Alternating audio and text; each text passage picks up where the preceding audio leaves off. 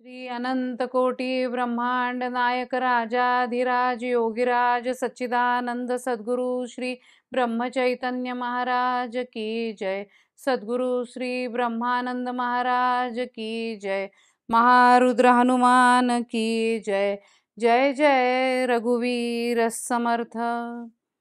जयाचा जनी जन्म नामार्थ झाला। जयाने सदा वासनामात केला.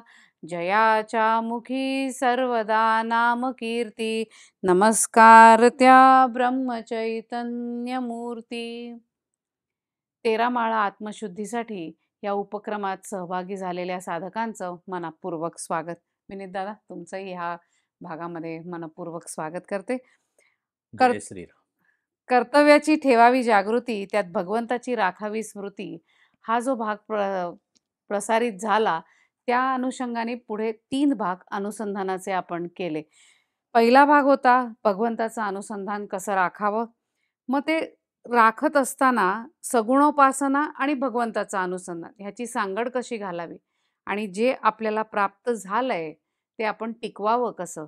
यावर आपण तिसरा भाग प्रसारित केला. आणि त्यानंतर अनेक शंका ज्या साधकांच्या मनात उपस्थित झालेल्या आहेत त्याचं आज महाराजांच्या तत्वज्ञानाच्या अनुषंगाने विनीत दादा आपल्याला त्या शंकांचं समाधान करणार आहेत किंवा तत्वज्ञान अजून उलगडून सांगणार आहेत. ह्याच्यात मला एक सांगावं असं वाटतं की ज्या प्रकाराने लोक शंका विचारतायत ना त्याचप्रमाणे लोकांना त्याचा कसा फायदा होतोय ना दादा हे देखील लोक भरभरून सांगतायत. म्हणजे आपल्या रोजच्या आचारात विचारात आपल्या बैठकीमध्ये किंवा आपण व्यवहारात वागत असताना त्याचा सगळ्याचा कसा चांगला उपयोग होतोय हे देखील आम्हाला साधकांनी वेळोवेळी सांगितलंय. आणि ह्याच्यात मला अजून एक उल्लेख करावा असा वाटतो की महाराजांचं वाक्य वाक्य ते लोक मनात साठवत आहेत. म्हणजे त्या वाक्यासकट त्यांनी आपल्याला उल्लेख करून सांगितलाय की मला कसा ह्या म्हणजे एक तुम्ही मध्ये वाक्य तिच्यात असं आलं होतं की मला म्हणजे आपण काही वेळेला तुकाराम महाराजांचा जो अभंग आहे की आपुल्या मते उगीच चिखल कालवू नको तसं आपण आपली काही काही माणसं अशी बाजूला गोळा करून ठेवलेली आहेत की ज्याच्यामुळे आपला संभ्रम उड होतोय आणि गोंधळ निर्माण होतोय.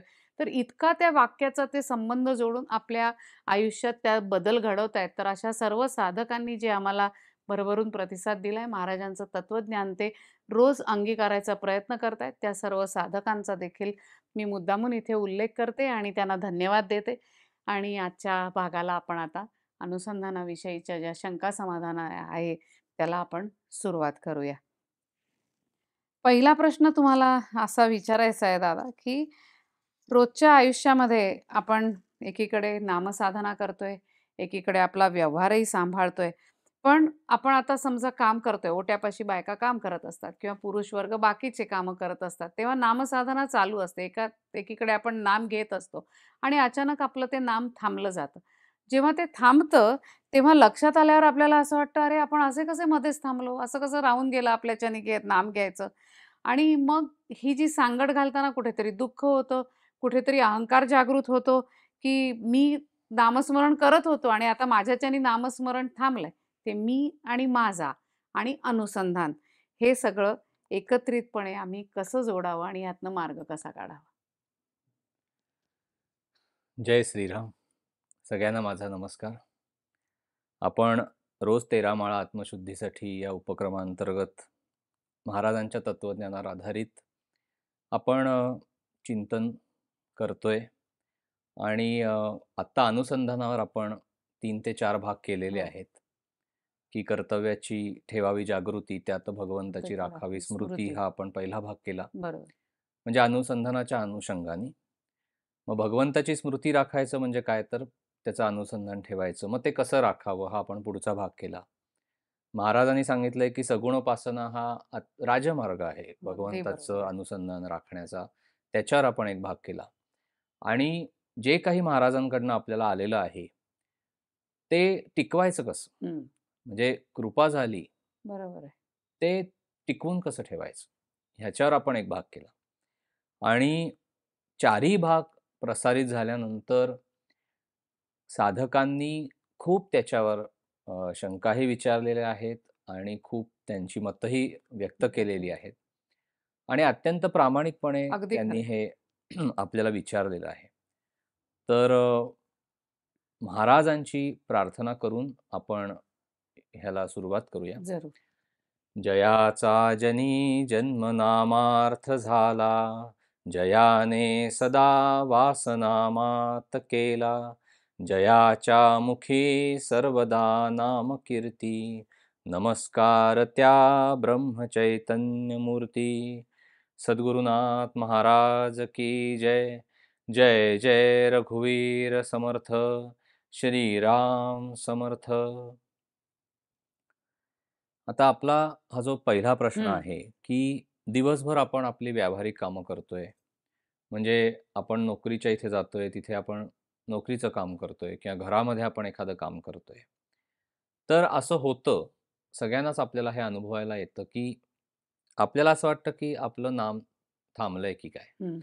आणि ज्यावेळेला आपण आपल्या कामातनं थोडेसे मोकळे होतो, तर परत आपल्या मनामध्ये श्रीराम, जयराम, जय जयराम किंवा ज्या कुठल्या उपास्य दैवताचा किंवा सद्गुरूंचा जप आपण करतोय, तर तो आपोआप होतो. बरोबर. म्हणजे अजपाजप ज्याला आपण म्हणतो.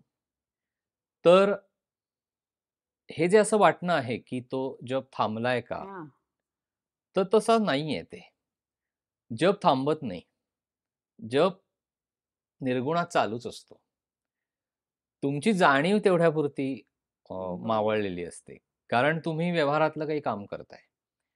आत सद्गुरू तुमच्याकडनं नामस्मरण घडवून. आणतच असतात. ते होतच असतं. त्याच्याशिवाय कामातनं थोडेसे मोकळे झाल्यानंतर आपल्याला त्या नामाची आठवण होणार नाही ना. हां. बरोबर आहे. आपण कामातनं मोकळे झाल्यानंतर आपल्याला जर श्रीराम, जयराम, जय जयराम आठवलं, ह्याचा अर्थ काय? की काम चालू असताना सद्गुरू ते आतून! घडवतच होते. फक्त आपण कुठेतरी कर्तेपण आपल्याकडे घेतलेलं असल्यामुळे म्हणजे नामस्मरण मी करतो किंवा मी बैठक घालून बसतो. त्याच्यामुळे आपल्याला असं वाटतं, की अरे मी आत्ता 3-4 तास तर अ, काम करत होतो किंवा काही घरातलं काही काम करत होतो. तर त्यावेळेला माझा असा कुठे जप झाला. मी काही बैठक घात घातली नाही. किंवा काम सुरू करायच्या आधी मी श्रीराम, जयराम, जय जयराम म्हटलं होतं. पण मग नंतर कामाच्या ह्याच्यामध्ये मी. पूर्णपणे हे झालो. त्यामध्ये आपण पूर्ण गुरफटून गेलो किंवा आपलं ते विहित कर्तव्य. जे. करण्यामध्ये आपण पूर्ण आपलं लक्ष केंद्रित केलं. आपण असं हो. म्हणूया, की आपलं लक्ष पूर्ण त्याच्यामध्ये आपण कामावर केंद्रित केलेलं आहे. मग अशा वेळेला आपल्याला असं वाटतं, की मग आता नामस्मरण कुठे होतंय किंवा आता अनुसंधान कुठे होतंय, तर तसं नाहीये. तर ते आत चालूच असतं. बरं. त्याच्यामुळे आपण असं मानायचंच नाही, की ते बंद झालंय किंवा ही आवर्तनं आहेत. बरं. म्हणजे आपल्या मना जसं आपण झोपेतनं उठल्यानंतर श्रीराम, जयराम, जय. जयराम येतं की नाही? बरोबर. तर ह्याचा अर्थ झोपेमध्ये ते निर्गुण अ, तत्वानी चालूच असतं. मग परत आपल्या मनामध्ये येतं. मग परत आपण काम करायला जातो. कामामध्ये लक्ष केंद्रित होतं. पुन्हा आपण त्यातनं थोडेसे जरी बाहेर आलो, तरी आपल्याला आपल्या उपास्य दैवताचा जप आपल्या मनामध्ये परत येतो किंवा काही वेळेला काम करत असताना थोडीशी अस्वस्थता आली. म्हणजे. बऱ्याचदा आपल्याला असं जाणवतं, की काही अस्वस्थता येते किंवा कशाची तरी भीती किंवा चिंता अशी हो, वाटते. भीती तर त्यावेळेला आपण पुन्हा महाराजांना आठवतो किंवा पुन्हा रामरायाला आठवतो किंवा महाराजांना मनातनं हाक मारतो, की "महाराज मला आता माझ्या वरिष्ठांकडे जायचंय. अ, अमुक-अमुक काम घेऊन जायचंय. तर माझं ते व्यवस्थित होऊ दे. रामराया तू माझ्याबरोबर चल." हे जे आपण सगळं मनातल्या मनात म्हणत असतो ना, हे वेगळं काय? हे अनुसंधानच आहे. अनुसंधानच आहे. अनुसंधान म्हणजे एकाने प्रश्न तोही विचारलाय, की अनुसंधान म्हणजे नक्की काय? तर अनुसंधान म्हणजे आपल्या उपास्य दैवताचं आणि आपल्या महाराजांचं, सद्गुरूंचं आपल्याला सतत स्मरण असणं. त्यांची सतत आठवण असणं. म्हणजे अनुसंधान आहे. मग ती आठवण कशीही राहिली तरी आपल्याला काही हरकत नाही. पण आपल्याला आपल्या मनाच्या अंतर्गत पातळीवर किंवा ज्याला आपण बॅक ऑफ द माइंड असं म्हणतो, की बॅक ऑफ द माइंड आपल्याला महाराज आणि रामराया किंवा आपलं उपास्य दैवत आहे. त्याची सतत आठवण पाहिजे. स्मरण पाहिजे. मग महाराज सांगतात तसं, की हे स्मरण कसं राखणार आपण? तर काही वेळेला रूपाचं ध्यान आहे. मग रूपाचं ध्यान नाहीसं झाल्यानंतर नाम आहे. म्हणजे नाम हे सगळ्याला व्यापून शेवटी उरतं उरतं. शिल्लक. तसं आहे ते. त्याच्यामुळे असं मानायचंच नाही. आपल्याला. जर आपल्या उपास्य दैवताची किंवा सद्गुरूंची आठवण हं. जर आपल्याला सदैव असेल, तर आपलं अनुसंधान चालूच आहे. उदाहरणार्थ, अगदी झोपेमध्ये आपण काहीतरी असंच स्वप्नामध्ये बघितलं. तर बऱ्याचदा असं होतं, की महाराजांचं नाव घेऊन आपण उठतो. जोरात ओरडतो आणि उठतो, की भीती वाटलेली असते. स्वप्नामध्ये आपण काहीतरी बघितलेलं असतं. ह्याचा अर्थ काय आहे, की स्वप्नसृष्टीमध्ये सुद्धा जरी मनाने प्रवेश केला तरी महाराजांची जाणीव आहेच आहे. सुटलेली नाही. त्याच्याशिवाय रामाचं नाव घेऊन आपण ओरडणार नाही. त्याच्याशिवाय आपण आपल्या उपास्य दैवताचं नाव घेऊन आपण ओरडणार नाही. किंवा महाराजांची आठवण आपल्याला येणार नाही. अत्यंत भीतियुक्त प्रसंग उत्पन्न झाला समजा आयुष्यामध्ये किंवा फार आपल्याला एखाद्या गोष्टीचं टेन्शन ज्याला आपण म्हणतो किंवा प्रेशर आलं. तर त्यावेळेला सुद्धा आपण पटकन महाराजांना आठवतो. साथ घालतोच. पटकन आपल्या देवाला बोलवतो, की "देवा बघ आता मी ह्या अडचणीमध्ये आहे." हे काय आहे? हे सगळं अनुसंधानच आहे. स्मरण राखणं म्हणजे म्हणजे अनुसंधान. ह्याचा अर्थ, की फक्त जपाला तुम्ही बसलात म्हणजे अनुसंधान. नव्हे. प्रत्येकच प्रत्येक कामामध्ये. प्रत्येक तुमच्या क्षणामध्ये जर तुम्हाला बॅक ऑफ द माइंड आपल्या महाराजांची, जा उपास्य दैवताची, सद्गुरूंची आठवण असेल ना. की आपण एखादं कर्म करतोय. नाही महाराज बघतायत. आपण एखादं हे करतोय. नाही महाराजांना आवडेल का? म्हणजे अशासारख्या ह्याने आपण महाराजांशी त्याचा संयोग ठेवला ना, तर ते. संयोग किंवा संधान ठेवणं सद्गुरू तत्वाबरोबर, परमेश्वरीय तत्वाबरोबर, त्याला अनुसंधान म्हणतात. नॉट नेसेसरी की तुम्ही बैठक घालून 24 तास आपण जप करू शकणार नाही. म्हणजे एकीकडे. सगळंच आपलं चालू आहे ना. प्रपंचही चालू आहे, हो. नोकरी करायला घरातनं बाहेर पडायचंय, घरातली कामं आहेत. सगळ्यांचं घरातल्या लोकांचं बघायचं, मुलं शाळेतनं आली, सगळं कॉलेजमध्ये गेली, त्यांचं सगळं आहे, बरोबर आहे. डबे करणं आहे, सगळ्याच गोष्टी आहेत ना. प्रपंच सगळाच चालू आहे. ऑफिसमध्ये गेल्यानंतर सुद्धा तिथली अनेक टेन्शन्स आहेत, व्यवधान आहेत. प्रेशर्स आहेत, व्यवधान आहेत, सगळ्या गोष्टी असतात. त्याच्यामुळे हे सगळं करत असताना आपल्याला आपल्या दैवताची, सद्गुरूंची आठवण चांगल्या प्रसंगामध्ये आणि वाईट प्रसंगात दोन्हीही राहणं म्हणजे अनुसंधान आहे. बऱ्याचदा. कसं होतं, की जेव्हा प्रतिकूल प्रसंग होतो उत्पन्न, त्यावेळेला ती स्वाभाविकपणे होते. तीव्र होते. तीव्र होते, की नाही मला कसंही करा आणि ह्यातनं बाहेर काढा. पण जेव्हा अनुकूल प्रसंग असतो, त्यावेळेला परीक्षा असते. त्यावेळेला हा अनुकूल प्रसंग महाराजांच्या आणि रामरायाच्या कृपेनी माझ्या आयुष्यामध्ये आलेला आहे आणि त्यात माझं खरंच काही नाहीये. जरी एखादी गोष्ट आपल्याला व्यवहाराच्या पातळीवर मिळालेली असली, तरी सुद्धा त्याही वेळेला आपल्याला त्यांची आठवण राहणं, हा सुद्धा भाग आहे. नाहीतर कसं होतं त्यावेळेला कर्तेपण आपण आपल्याकडे. घेतल्यामुळे थोडासा विसर पडतो किंवा त्याची ग्रॅव्हिटी तेवढी राहत नाही. नाही. इंटेन्सिटी ज्याला आपण म्हणजे. ज्याला आपण म्हणजे जेव्हा आपण ह्याच्यामध्ये असतो, दुःखात असतो किंवा जेव्हा संकटात असतो, त्यावेळेला ज्या इंटेन्सिटीनी सद्गुरूंना हाक मारतो. त्यावेळेला आपण जेव्हा सुखाचे दिवस पाहत असतो, ते त्यावेळेला आपली इंटेन्सिटी तेवढी सद्गुरूंविषयी राहते का? किंवा रामरायाविषयी आपल्याला तेवढंच त्या प्रमाणामध्ये वाटतं का? का आपण आपल्या विषयामध्ये पूर्ण गुरफटून गेलेलो असतो. For that time? हं. आपल्याला फार बघावं लागतं. म्हणजे अनुसंधानाने पाय पण तुमचे जमिनीवर राहतात थोडक्यात. निश्चितच आणि विषयामध्ये आपण किती गुरफटून गेलोय हाही. भाग आहे ना. पण तो. विषय भोगत असताना सद्गुरूंची आठवण किंवा रामरायाची आठवण बऱ्याचदा नाही राहत. मग तिथे अनुसंधान चुकतं. बरोबर. असं होतं. म्हणजे ह्या दोन्ही पातळीवर बॅलन्स आपल्याला म्हणजे सतत. साधं लक्षात ठेवायचं म्हणजे आपल्याला 24 तास म्हणजे झोपेचा भाग वगळता आपल्या पातळीवर आपल्याला ह्यांची आठवण राहणं, सद्गुरूंची आठवण राहणं, परमेश्वराची आठवण राहणं म्हणजे अनुसंधान आहे. आणि झोपेमध्ये ती सबकॉन्शियस माइंडमध्ये असतेच.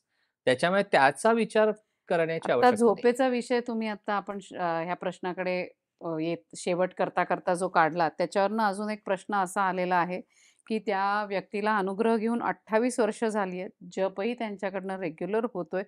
पण झोपेत जप चालू राहत नाही, अशी त्यांची खंत आहे आणि त्याचा त्यांना त्रास होतोय. हे काही चुकतंय का? किंवा झोप झोपेत आपला जप चालू आहे का नाही, ह्याच्यावर आपण आपला चेक कसा ठेवायचा? आपण मगाशी बोललो तसं. मुख्य मी जप करतो, ही कर्तेपणाची भावना ज्या वेळेला आपल्या मनातनं बाहेर पडेल, त्यावेळेला माझा झोपेत का जप होत नाही हा प्रश्न पण आपोआप त्याचं उत्तर आपल्याला मिळेल. की असं नाहीये की मी आत्ता जप करतोय, मी नंतर नाही करत आहे, हा भागच नाहीये. ते स्मरण आहे. काय आठवावं हे आपल्या हातात नाहीये. ती सगळी भूमिका सद्गुरूंच्याकडे आहे. म्हणजे परमेश्वराकडे आहे. म्हणजे महाराज म्हणतात तसं की परमेश्वर त्याचं नाव आपल्या मुखातनं घेत असतं. बरं. म्हणजे जेव्हा आपण परमेश्वराचं नाव घेतो, तेव्हा तोच आपल्या मुखातनं त्याचंच नाव वदवून घेत असतो. त्याची दोरी त्याच्या हातात आहे. दोरी त्याच्या हातात आहे. दोरी सद्गुरूंच्या हातात आहे. त्याच्यामुळे कर्तेपण कुठे येऊन चिकटतं आपल्याला, जेव्हा आपण बैठक घालून बसतो, त्या क्षणापर्यंतच खरं तर ते म्हटलं तर करतेपण आहे, म्हटलं तर त्यालाही करतेपण नाहीये. कारण बसण्याची बुद्धी कोण देतंय परत तुम्हाला? फक्त आपण कृती करतोय, आज बुद्धी ते अ. घरामध्ये बघा, किती माणसं अशी आहेत, की जी सगळेजण उठून जपाला बसतात का? आपण आपल्या घरातच बघावं. कशाला बाहेर जायचं बघायला? त्यामुळे मग त्यांना का बुद्धी होत नाही? बरोबर. त्यांना का बुद्धी होत नाही? तुम्हाला का बुद्धी होतीये? ज्या अर्थी आपल्याला नाम घेण्याची किंवा देवाचं नाव आपल्या मुखी यावं, ही बुद्धी होतीये त्या अर्थी आपण शाळेमध्ये प्रवेश घेतलेला आहे. बरं. आणि मग इयत्ता-इयत्ता महाराज आपल्याला नेत राहतील. म्हणजे आपलं काम काय आहे? तर उठायचं आणि बसायचं. इथपर्यंत फार-फार तर व्यावहारिक पातळीवरची कृती म्हणून, काय तो कर्तेपण आपल्या क पाशी तेही खरं तर नाहीच नाही. आहे. कारण उठण्याची बुद्धी, जपाला बसण्याची बुद्धी महाराजच देणार. मग बसल्यानंतर जे काही सुरू होतं, ते पुन्हा आपल्या हातामध्ये आहे का? नाही. मग सगळ्या गोष्टी जर भगवंताच्या आणि सद्गुरूंच्या हातामध्ये असतील, तर त्यात कर्तेपण कुठलंही नाही.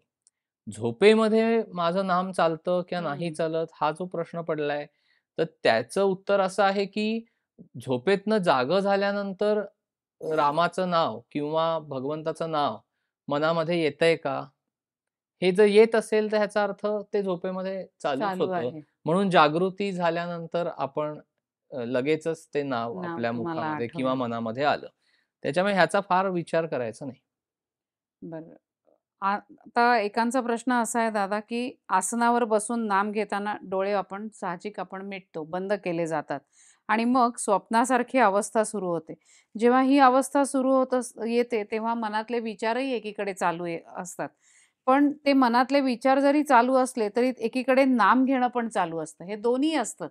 विचारही येतात, आपलं नामही चालू असतं, डोळे तर आपले बंद आहेत. मग काही वेळेला स्वप्नावस्था सुरू झाल्यासारखी होते त्यांना आणि नामही सुरू असतं. पण नक्की कळत नाही आपला स्वप्नावस्थेत वेळ किती गेलाय आणि नामात किती वेळ गेलाय आणि मग आपला वेळ वायाच गेलाय का काय? मग ही अर्धग्लानी आहे का आपण खरोखर झोपलेलो होतो का हे ध्यान आहे? ह्या सगळ्या ज्या काही मनात गोंधळ उडतात, त्याला आपण कसं क्लासिफाय करायचं किंवा कसं सॉर्ट आउट करायचं आणि त्याच्यावर उपाय काय आहे? हे ध्यानच आहे एक प्रकारचं. म्हणजे ज्यावेळेला आपण जागृत अवस्थेमध्ये असतो आणि नंतर आपण जेव्हा जप करायला सुरुवात करतो किंवा नामस्मरणाची बैठक घालून नामस्मरण करायला सुरुवात करतो, त्यावेळेला डोळे मिटतात आपले. बरोबर. ते आत खेचले जातात हो. आणि अ, आपली ती प्रक्रिया सुरू होते नामाची. अ, विचार व्हायला सुरुवात होते. मग आपण ते मागे आपण ह्या हो, भागांमध्ये की बघितलेलं आहे, त्याच्याकडे की दुर्लक्ष करायचं. त्याच्याकडे आपण दुर्लक्ष करायचंय. त्या विचारांच्या मागे आपल्याला जायचं नाहीये आणि आपण आपली स्वप्नरंजनं करून त्या विचारांना फाटे पण फोडायचे नाहीत. फोडायचं नाही. कारण बऱ्याचदा बरोबर आहे. कसं होतं, की एक विचार ठीक आहे नैसर्गिकरित्या तुमच्या मनामध्ये आला.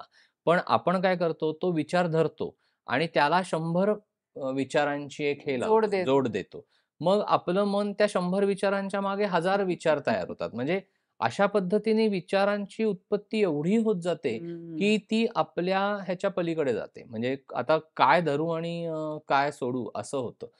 विचारांच्या मागे जायचं नाही असं महाराजांनी हे अगदी सांगितलंय. पक्कं आहे. त्याच्यामुळे जिथे तुम्ही विचारांच्या मागे जात असाल आणि. एका विचारातनं दुसऱ्या विचाराची जर निर्मिती होत असेल, तर लगेच पहिल्या विचाराच्या इथेच थांबायचं. बरं. आणि हा अभ्यास आहे. म्हणजे आपल्याला कळतं, की हा विचार माझ्या मनामध्ये आला, उत्पन्न झाला. नैसर्गिकरित्या उत्पन्न झाला. सो आपला त्याच्यावर कंट्रोल नाही. तो विचार उत्पन्न होऊन. द्यायचा नाही किंवा व्हायला. मनातच आणायचं नाही असं हे असं आपला काही. त्याच्यावर नियंत्रण नाही. तो नैसर्गिकरित्या मनामध्ये उत्पन्न झाला. पण आपण काय करतो, आपण त्या विचारांना आपल्या कल्पनेने फाटे फोडतो. आणि अनेको विचार त्यातनं उत्पन्न होतात आणि. मग आपण थकतो ते विचार करून, करून. आता ह्यांचा जो प्रश्न आहे, जेव्हा आपण हळू-हळू म्हणून तर तो 45 मिनिटं ते 50 मिनिटं किंवा. 1 तास, सव्वा तास हा जो जपाचा, बैठकीचा भाग आहे, हा कशासाठी आहे, की पहिली 10-15 मिनिटं समजा तुमचे सगळे विचार वाहून गेले. नंतर हळू-हळू, हळू-हळू अशी अवस्था येईल, की जपाला बसल्यानंतर 1 मिनिटा 2 मिनिटातच विचारांची हे थांबलेली असते. कारण आपल्याला मनाला समजवावं लागतं. हेही मागच्या भागामध्ये आपण बघितलेलं आहे, होय. बरोबर. की मनाला सांगायचं, की मी आता कुठलेही विचार करणार नाहीये आणि तुझ्या मागे धावणार पण नाहीये. नाही. मी फक्त नामाला आता बसलेलो आहे. ह्यात जो काही व्याकरणदृष्ट्या मी आहे तेवढाच तो मी आहे. म्हणजे हेही सतत लक्षात राहायला बरोबर आहे. पाहिजे, की आता बसलोय म्हटल्यानंतर तुझ्या मागे मी येणार नाही. हे मनाला ठणकावून सांगता पण आलं पाहिजे, की तू मला धाववतोस आणि मी तुझ्या मागे फक्त धावत राहतो. तर मनाला आपल्याला नाही होणार आहे ते. सांगता आलं पाहिजे, की मी अ, आत्ता आणि सद्गुरूंना त्याच्यासाठी प्रार्थना करायची. महाराजांना प्रार्थना करायची, की महाराज मी आता बसलोय ना इथे 50 मिनिटं, 1 तास, सव्वा तास. अजिबात अशी अवस्था माझी आणा, की निर्विचार अवस्था. की कुठलाही विचार नाही आणि ते निर्गुण तत्वाचं ध्यान आहे, की कारण आपण ध्यानामध्ये सुद्धा पहिल्यांदा थोडंसं सगुण हालचालच असते. म्हणजे ज्याला म्हणतो साकार किंवा. अशी काही साधारण मानसपूजा सुद्धा त्याच हो. पठडीतनं जाते, की. सगुण ह्याच्यातनंच जाते. म्हणजे जरी आपण मनाने त्याचं चिंतन करत असलो, तरी शेवटी तिथे हालचालच असते. आणि ती सगळी हालचाल झाल्यानंतर साधकाला असं वाटतं, की आता ह्याच्या पुढचा काही वेळ मी फक्त शांत बसावं. आणि नेमकं काय होतं, की व्यावहारिक पातळीवर त्या ठिकाणीच त्याला उठावं लागतं. हो. कारण त्याला त्याचा पुढचा सगळा प्रापंचिक गोष्टी. असतात. त्याच्यामुळे तिथे थोडीशी त्याची अस्वस्थता येते, की सगळं करून झाल्यानंतर अशी एक मनाची अवस्था येते, की आता इथून पुढे मला आता शांततेत म्हणजे तो जो भाग आहे ना हो. ध्यानाचा. की हे जे सगळं अनुभवायला येतं हा ध्यानाचा भाग आहे. वेगळं काही ध्यान करायचं नाहीये. हे सगळं एकी एका वेळेलाच आहे हे. म्हणजे एकीकडे तुमचा जप चालू असणार आहे. मध्ये तो कदाचित बंद होईल 5-7 मिनिटासाठी, दहा मिनिटासाठी आणि पूर्णपणे तुमचे डोळे मिटलेले असतील आणि तुम्ही ध्यानाच्या ह्याच्यात निघून गेलेले असाल. तर that is okay, that is fine. परत तुम्ही नामामध्ये येता, पुन्हा नामस्मरण चालू होतं. तर ही आवर्तन आहेत. म्हणजे असं काही त्याला हार्ड अँड फास्ट रूल नाही, की आता मी हे करायला बसलो म्हणजे आता सगळं तसंच व्हायला पाहिजे. असं नाहीये. शेवटी ह्या सगळ्या प्रक्रिया आहेत. त्याच्यामुळे ह्या सगळ्या सद्गुरूंच्या अंमलाखाली प्रक्रिया चालतात. हां. आणि आपण फक्त बसणं एवढंच आपल्या हातामध्ये असतं. काय घडवतील, कुठून पाठीतनं लहर येईल, काय होईल, हातपाय कसे होतील, ह्या सगळ्या गोष्टी सद्गुरूंवर सोडून द्यायच्या. त्याच्यामध्ये सुद्धा मला हे असं का होतंय आणि बापरे! आता काय? ते सगळं त्यांच्याकडे आहे ना. त्यांच्याकडे सगळ्या क्रिया घडवतील ना. शेवटी शुद्धीकरण आहे हे. त्याच्यामुळे सगळं काही कुंडलिनी जागृतीचेही अनुभव आधी काही हो. लोकांनी आपल्याला. सांगितलेत. सगळ्या तऱ्हेचे अनुभव त्या प्रोसेसमध्ये होतील. तर आपलं काम फक्त काय असतं, की आपण फक्त बसून राहणं. तुमचं शरीर गरम होईल, तुमचे हात हे होतील, निरनिराळ्या तुमच्या कपाळाच्या इथे, भ्रूमध्याच्या इथे तुम्हाला असं खेचल्यासारखं वाटेल, डोळे खेचल्यासारखे होतील, इथे दुखायला लागेल. वाटेल ते घडू शकतं. छातीमध्ये काही वेळेला असं दुखतं. अनेक तऱ्हेच्या गोष्टी आणि वेगवेगळ्या निरनिराळ्या लोकांना वेगवेगळे अनुभव येतात.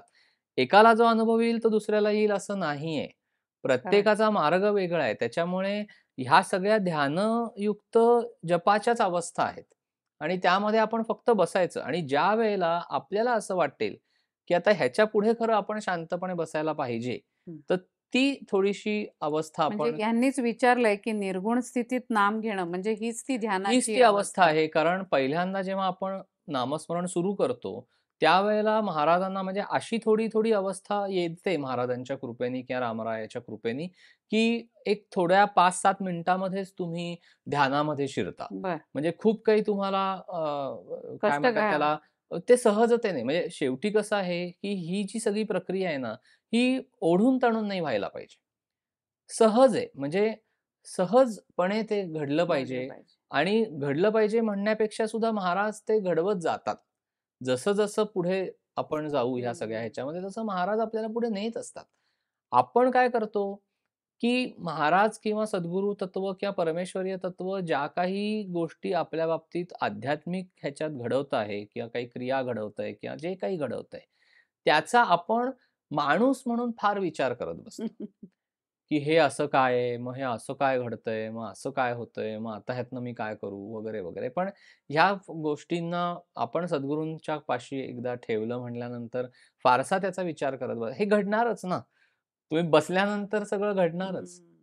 ती सगळी हेच तशी आहे. म्हणजे त्याची प्रोसेसच तशी आहे. हे सगळं घडणार घडणारच आहे. घडतच जाणार आहे. त्याच्यामुळे फार त्याला काही घाबरायचं नाही. पार्ट एंड पार्सल ऑफ हा भाग आहे हा. भाग आहे या सगळ्या प्रक आता जेव्हा त्याच्यामुळे तुम्ही हे ध्यान आहे, निर्गुण ध्यान आहे. कारण रूपाचं ध्यान पहिल्यांदा काही वेळ डोळ्यासमोर येईल.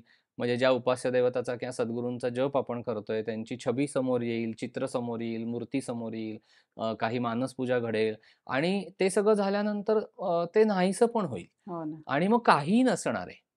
आणि आपण सुद्धा नाही आहोत. अशा थोड्याशा अवस्थेमध्ये असतो, की आपली पण अवस्था अशी म्हणजे. म्हणजे आपण पण थोडेसे स्थूलातनं सूक्ष्माकडे गेल्यासारखं! होतं आणि परमेश्वरीय तत्व तर सूक्ष्मामध्येच असतं किंवा सद्गुरू. तत्व हे सूक्ष्मामधनंच काम करत. असतं. त्याच्यामुळे सूक्ष्म अवस्थेमध्ये आपण गेल्यानंतर थोडीशी त्या ह्याच्यामधलीच आपली ती ध्यानयुक्त किंवा स्वप्नस्थिती म्हणतो किंवा अशी काही अवस्था असते. तर त्या अवस्थेमध्ये जास्तीत जास्त राहण्याचा प्रयत्न करायचा. तेच निर्गुण तत्वाचं द्योतक आहे आणि फक्त तिथे नाम शिल्लक राहतं. म्हणजे आपण मनातल्या मनात फक्त श्रीराम, जयराम, जय जयराम किंवा जो जो कुठला उपास्य दैवताचा जप आहे, तो फक्त मनातल्या मनात होत असतो आणि असं वाटतं, की आता काहीही नको. म्हणजे बास आता डोळे शांत मिटून बसावं आणि मनातल्या मनात ते नामही असं चालू राहावं, की ते नाम आपण आपल्या कानांनी ऐकावं. महाराज! म्हणतात तसं, की आपणच त्रयस्थ दृष्टीने जे काय नाम आत हे होतंय, ते ऐकत राहावं किंवा ऐकत राहावं, त्याचा अनुभव घेत राहावा. त्याचं त्याची स्पंदनं ओळखावीत त्या नामाची आणि थर्ड पर्सन म्हणून, म्हणजे त्रयस्थ म्हणून, की मी तो नाहीच आहे. नाम घेणारा पण वेगळा आहे. आणि नाम ऐकणारा वेगळा आहे. अशा ह्याच्यामध्ये आपण राहिलं पाहिजे. म्हणजे मग आपल्याला कळतं ते. हे जेव्हा तुम्ही सांगताय दादा, तेव्हा असा साहजिक प्रश्न पडतो, की हे मी कधी अनुभवणार? नॅचरल आहे हे आणि एकांनी आपल्याला असा प्रश्न विचारलाय, की नामस्मरण, मानसपूजा, ध्यान हे रोज करतोय. आम्ही ते कुठलंही पण त्यात कृत्रिमपणा आहे आणि मगाशी तुम्ही सहजावस्थेचा उल्लेख केलात. तर हे सगळं ऐकल्यावर असं वाटतं, की ही सहजावस्था मला का नाही येत? मला असं वाटतं, की आपण झोकून दिलं पाहिजे. म्हणजे आपल्याला खरं तर आयुष्यामध्ये सद्गुरूंशिवाय किंवा परमेश्वराशिवाय दुसऱ्या काही गोष्टी महत्त्वाच्या नसल्या पाहिजेत. गौण असल्या पाहिजेत. पण आपलं कसं होतं नैसर्गिकरित्या, की आपण स्वतःला सगळ्यात पहिला जास्त प्रेफरन्स प्रेफरन्स. स्वतःसाठी असतो. दुसऱ्या पातळीवर तो कुटुंबासाठी असतो. किंवा व्हाईस वर्सा, हं. की काही जणांना कुटुंब ही प्रायोरिटी असते आपण गौण असतो. आणि स्वतःकडे गौणत्व घेतलेलं असतं. दोन्ही तऱ्हेची अ, माणसं तुम्हाला हो. सापडतील. काही ठिकाणी माणसांनी स्वतःला प्रायोरिटी दिलेली असते, की मी पहिलं माझं बघणार. म्हणजे ज्याला देहाचा स्वार्थ अ, आध्यात्मिक भाषेमध्ये हं. म्हटलं जातं. आणि 2-3 तऱ्हेचे स्वार्थ महाराजांनी सांगितलेले आहेत. अ, कायिक स्वार्थ आहे, वाचिक स्वार्थ हो. आहे. तर हा जो सगळा भाग आहे, काही वेळेला स- माणसं स्वतःला प्रायोरिटी देतात. मग पुढच्या टप्प्यात ते कुटुंबाला प्रायोरिटी देतात. काही जणांच्या ठिकाणी कुटुंबाला पहिली प्रायोरिटी दिलेली असते, की माझं काही नाही झालं तरी चालेल, पण माझ्या कुटुंबाचं व्यवस्थित व्यवस्थित. पण ह्यात सुद्धा कसं असतं, की माझं कुटुंब. आलं का लक्षात? बरोबर. की मग ती प्रायोरिटी का मी देतोय? कारण ती माझी माणसं आहेत. हां, माझं आहे म्हणून. म्हणजे पुन्हा तिथे मी, माझं हा भाग आहेच आहे. की ही माझी मुलं आहेत किंवा जोडीदार आहे किंवा हे माझे नातेवाईक आहेत. मग हा सगळा माझाच प्रपंच आहे. हे घरही माझं आहे. म्हणजे ह्याच्यामध्ये ती प्रायोरिटी ठरलेली असते. मग हे सगळं व्यवस्थित व्हायला पाहिजे. मग माणूस देवाकडे कधी जातो किंवा संताकडे कधी जातो? तर दोन ह्याच्यात जातो. एका ह्याच्यामध्ये त्याला काहीतरी प्रापंचिक अडचण आलेली असते. बरोबर. त्यातनं मार्ग शोधण्यासाठी म्हणून तो जातो. म्हणजे तो काही खूप देवदेव आधी करत असतो अशातला भाग नाहीये. पण कुठेतरी तो एखाद्या मार्गदर्शकाकडे जातो. तो मार्गदर्शक त्याला काही उपाय सांगतो, की "तू अमुक-अमुक कर, बघ तुझं काम होईल."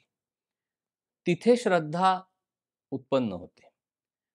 मग ती व्यक्ती ते करायला सुरुवात करते. महाराजांच्या, परमेश्वराच्या, सद्गुरूंच्या कृपेने त्या व्यक्तीचं कामही होतं. आणि त्या व्यक्तीची श्रद्धा तिथे बसते. म्हणजे जेव्हा तुमच्या आयुष्यामध्ये कुठला तरी नकारात्मक प्रसंग उत्पन्न होतो, संकट उत्पन्न होतं किंवा तुम्हाला तुमच्या प्रापंचिक अडचणीतनं मार्ग काढायचा असतो, त्यावेळेला काही जणं देवाकडे किंवा सद्गुरू तत्वाकडे आकृष्ट होतात. किंवा ते तिथे जाऊ इच्छितात. कारण त्यांना त्यांच्या प्रापंचिक अडचणीतनं बाहेर यायचंय म्हणून. म्हणजे इथे महाराज जे सांगतात, की तुम्ही देवाची उपासना देवासाठीच करा किंवा मला देव आवडतो म्हणून करा.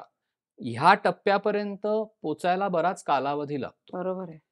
आणि दुसरा एक गट किंवा ज्याला आपण म्हणू समाजाचा भाग असाही आपल्याला बघायला मिळतो. म्हणजे इथे आपण चूक बरोबर हे काही बोलत नाहीये. काय आहे आत्ताची परिस्थिती? की काय? हां, की असाही एक आपल्याला लोकांचा समुदाय बघायला मिळतो, की ज्यांचं सगळं करून झालेलं आहे. आणि आता बराच मोकळा वेळ उरलेला आहे. मग ती लोकं असा विचार करतात, की आता आपलं आयुष्य कितीसं उरलेलं आहे. आता सगळं झालं, मुलाबाळांची लग्न झाली, सगळं झालं, नोकरी झाली, फंडाचा पैसा बँकेमध्ये आहे, त्याच्या हो, म्हणजे. व्यावहारिक हे आहे, त्यांनी एक स्वस्थता येते स्वस्थता. येते. मग ती स्वस्थता आली, की मग त्या व्यक्तीला असं वाटतं, की आता जो माझा राहिलेला वेळ आहे, मग काहीतरी ऐकतील. आपल्याकडे अनेक गोष्टी चाललेल्या. असतात. काहीतरी वाचतील, कुठल्यातरी संस्थेला ते जॉइन होतात. मग तिथून त्यांचा हा थोडाफार मार्ग सुरू होतो. अशा तऱ्हेच्या लोकांनी हे सगळं असं भरलेलं असतं. त्याच्यामुळे जेव्हा आपण परमेश्वराची भक्ती करतो, त्यावेळेला कुठल्या भूमिकेतनं आपण तिथे जातोय, हा भाग फार महत्त्वाचा ठरतो. म्हणून ते नामस्मरण वरवरचं होत नाहीये ना, त्याच्यामध्ये तेवढी ग्रॅव्हिटी किंवा इंटेन्सिटी येतीये ना, हा जो तुम्ही मगाशी प्रश्न विचारलात, की कृत्रिमपणा कृत्रिमपणा. तर सहजता महाराजांना फार आवडते. मग सहजता आवडते म्हणजे आपल्याला नाम अशा पद्धतीने म्हणजे घ्यावं लागतं, की ईश्वरासाठीच ईश्वराची उपासना आहे किंवा सद्गुरूंसाठीच सद्गुरूंची उपासना आहे. दुसरं मला काही नकोच आहे. पण दोन्ही पद्धतीने हे होणार. जोपर्यंत प्रापंचिक अडचणींमधनं तुम्ही बाहेर येत नाही. तोपर्यंत श्रद्धा बसत नाही. आणि ती पहिली पायरी असते. हे. भगवंताला पण माहिती असतं आणि सद्गुरूंना पण माहिती असतं, की त्या व्यक्तीचे प्रापंचिक प्रश्न सुटल्याशिवाय तो परमेश्वराकडे किंवा सद्गुरूंकडे तेवढ्या ह्याने येत नाही. नैसर्गिकरित्या वळणार नैसर्गिकरित्या नाही. वळत नाही. आणि मग काही कालांतराने अशी त्या व्यक्तीची अवस्था प्राप्त होते, की आता मला अडचण आली तरी सुद्धा ती अडचण घेऊन मी सद्गुरूंकडे जाणार नाही. कारण मला माहिती आहे, की सद्गुरू मा माझा पूर्ण सांभाळ करतायत. म्हणजे आपण सुरुवात आपली त्या अडचणीतनं किंवा एखाद्या अशा काही प्रसंगातनं जरी झाली, तरी हळू-हळू, हळू जर सद्गुरूंनी सांगितलेल्याप्रमाणे आपण साधन करत गेलो, तर प्रापंचिक गोष्टींमध्ये अडकलेली आसक्ती हळू-हळू कमी होते. कितीही अडचण आली, तरी महाराज आहेत, रामराय आहे, होऊन जाईल त्यातनं पार आपण. अशी एक मनाची अवस्था होते. आणि आपण थोडेसे सिरियसली ह्या सगळ्या गोष्टींचा विचार करायला लागतो. म्हणजे जेव्हा वेळ घालवण्यासाठी साधन करणं बंद होईल ना, तेव्हा साधनाची किंवा त्या उपासनेची खरी किंमत आपल्याला कळेल. जर आपण आपला फावला वेळ घालवण्यासाठी म्हणून हे सगळं करत असू, तर आपल्याला त्यातलं हे कळणार नाहीये. मर्म. मर्म कळणार नाही. त्याच्यामुळे आपल्याला फार ह्या सगळ्या गोष्टींचा बारकाईने विचार करायला लागतो, की आज माझ्याकडे 2 तास आहेत ना, मग कुठल्यातरी चांगल्या गोष्टींसाठी मी ते घालवावे. हा एक विचार म्हणून ठीक आहे.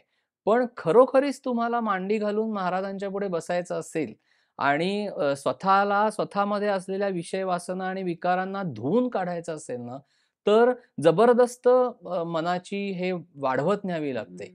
आणि सगळ्या गोष्टी अक्षरशः म्हणजे षडविकार धुतल्याविना अंगी साधुत्व येईना, हे जे दासगणू हो. महाराजांनी गजानन महाराजांच्या पोथीमध्ये म्हटलंय ना, तसं अक्षरशः स्वतःला धुवून काढावं लागतं. त्याच्याशिवाय हे होणार नाही. अदरवाईज साधन किंवा उपासना ही फक्त वरवरची, वरवरची होईल. आणि त्यातलं खरं गमक काय आहे? त्यात खरं मर्म काय आहे? महाराजांच्या पुढे बसल्यानंतर काय होतं? आणि कसे फटके बसतात आणि कशा सगळ्या हे गोष्टी, हे नाही आपल्याला लक्षात येऊ शकणार. सगळं वरवरचं, वरवरचं होईल. म्हणून मग ते कृत्रिम वाटतं. म्हणून ते कृत्रिम वाटतं. म्हणून त्याच्यामध्ये काही आपल्याला काही वाटत नाही. आपण फक्त करत जातो, करत जातो. पण तसं नाहीये. आपण सगळ्या गोष्टी बाजूला केल्या आणि आपल्याला स्वतःला आप ह्या विषय वासना आणि विकारांच्या ह्या दलदलीतनं बाहेर यायचं हे एकदा ठरवल्यानंतर तुम्ही अक्षरशः असे ह्याने जाऊन बसला पाहिजेत त्या महाराजांच्या पुढे की कशी कृत्रिमता येईल. त्या गोष्टीमध्ये हो. कृत्रिमता येऊच शकत नाही. म्हणजे येऊच शकत. आपली कळकळ आणि त्याच्या मागची भूमिका स्पष्ट आणि पाहिजे. तुम्हाला हे लक्षात पाहिजे, तुम्हाला हे इतकं डोक्यामध्ये पक्कं पाहिजे की महाराज आहेतच आणि त्यांच्यासमोर बसण्याची आपली एकतर पात्रता पण नाहीये. आणि आपण ह्या किती गोष्टींचा वरवरनं, वरवरनं विचार करणार आहोत म्हणून ह्या सगळ्या गोष्टी येतात आपल्या वाटेला. आपल्याला पूर्णपणे स्वतःला झोकून द्यावं लागतं आणि त्याच्यासाठी आपल्याला पहिल्यांदा हे ठरवायला लागतं की माझ्यामध्ये मला सुधारणा घडवायची आणि रोज मला काहीतरी सुधारत न्यायचंय स्वतःला. त्याच्याशिवाय सद्गुरु तत्व किंवा परमेश्वरीय तत्व जागृतच होऊ शकणार नाही. म्हणजे थोडक्यात दादा तुम्हाला असं म्हणायचं की ती कळकळ, ती तुमच्यामध्ये असलेली एक आपल्याला कशासाठी महाराजांकडे आपण जातोय, आपल्याला त्या नामसाधना, जप, ध्यान यातनं काय साधायचंय हे लक्षात घेऊन तुम्ही करत गेलात तर तो कृत्रिमपणा आपोआप बाजूला जाईल आणि तुमचा कुठलाही गोंधळ न उडता तुम्ही तुमचं म्हणजे साध्य अक्षरशः ज अ, जीवाचं हे करून आपण महाराजांना किंवा आपल्या सद्गुरू तत्वापाशी आपण समर्पित व्हायला पाहिजे, की काही झालं तरी आपल्या चुका दिवसभर आपल्याला सतत आपण शोधत राहिलं पाहिजे आणि ह्या सगळ्या गोष्टींचा फार बारकाईने विचार करावा. करून करायला पाहिजे. आता जेव्हा श्रद्धेचा विषय आपला झाला, बोलताना तुम्ही उल्लेख केलात श्रद्धेविषयी. तर महाराजांवर श्रद्धा आहे, नामस्मरण चालू आहे. पण काही घटना आपल्या प्रपंचामध्ये अशा घडतात, की आपल्याला असं वाटतं, की आपल्याला त्याची कल्पनाही येत नाही, की इतकं वाईट आपल्या बाबतीत घडू शकतं आणि ती घड घटना घडते.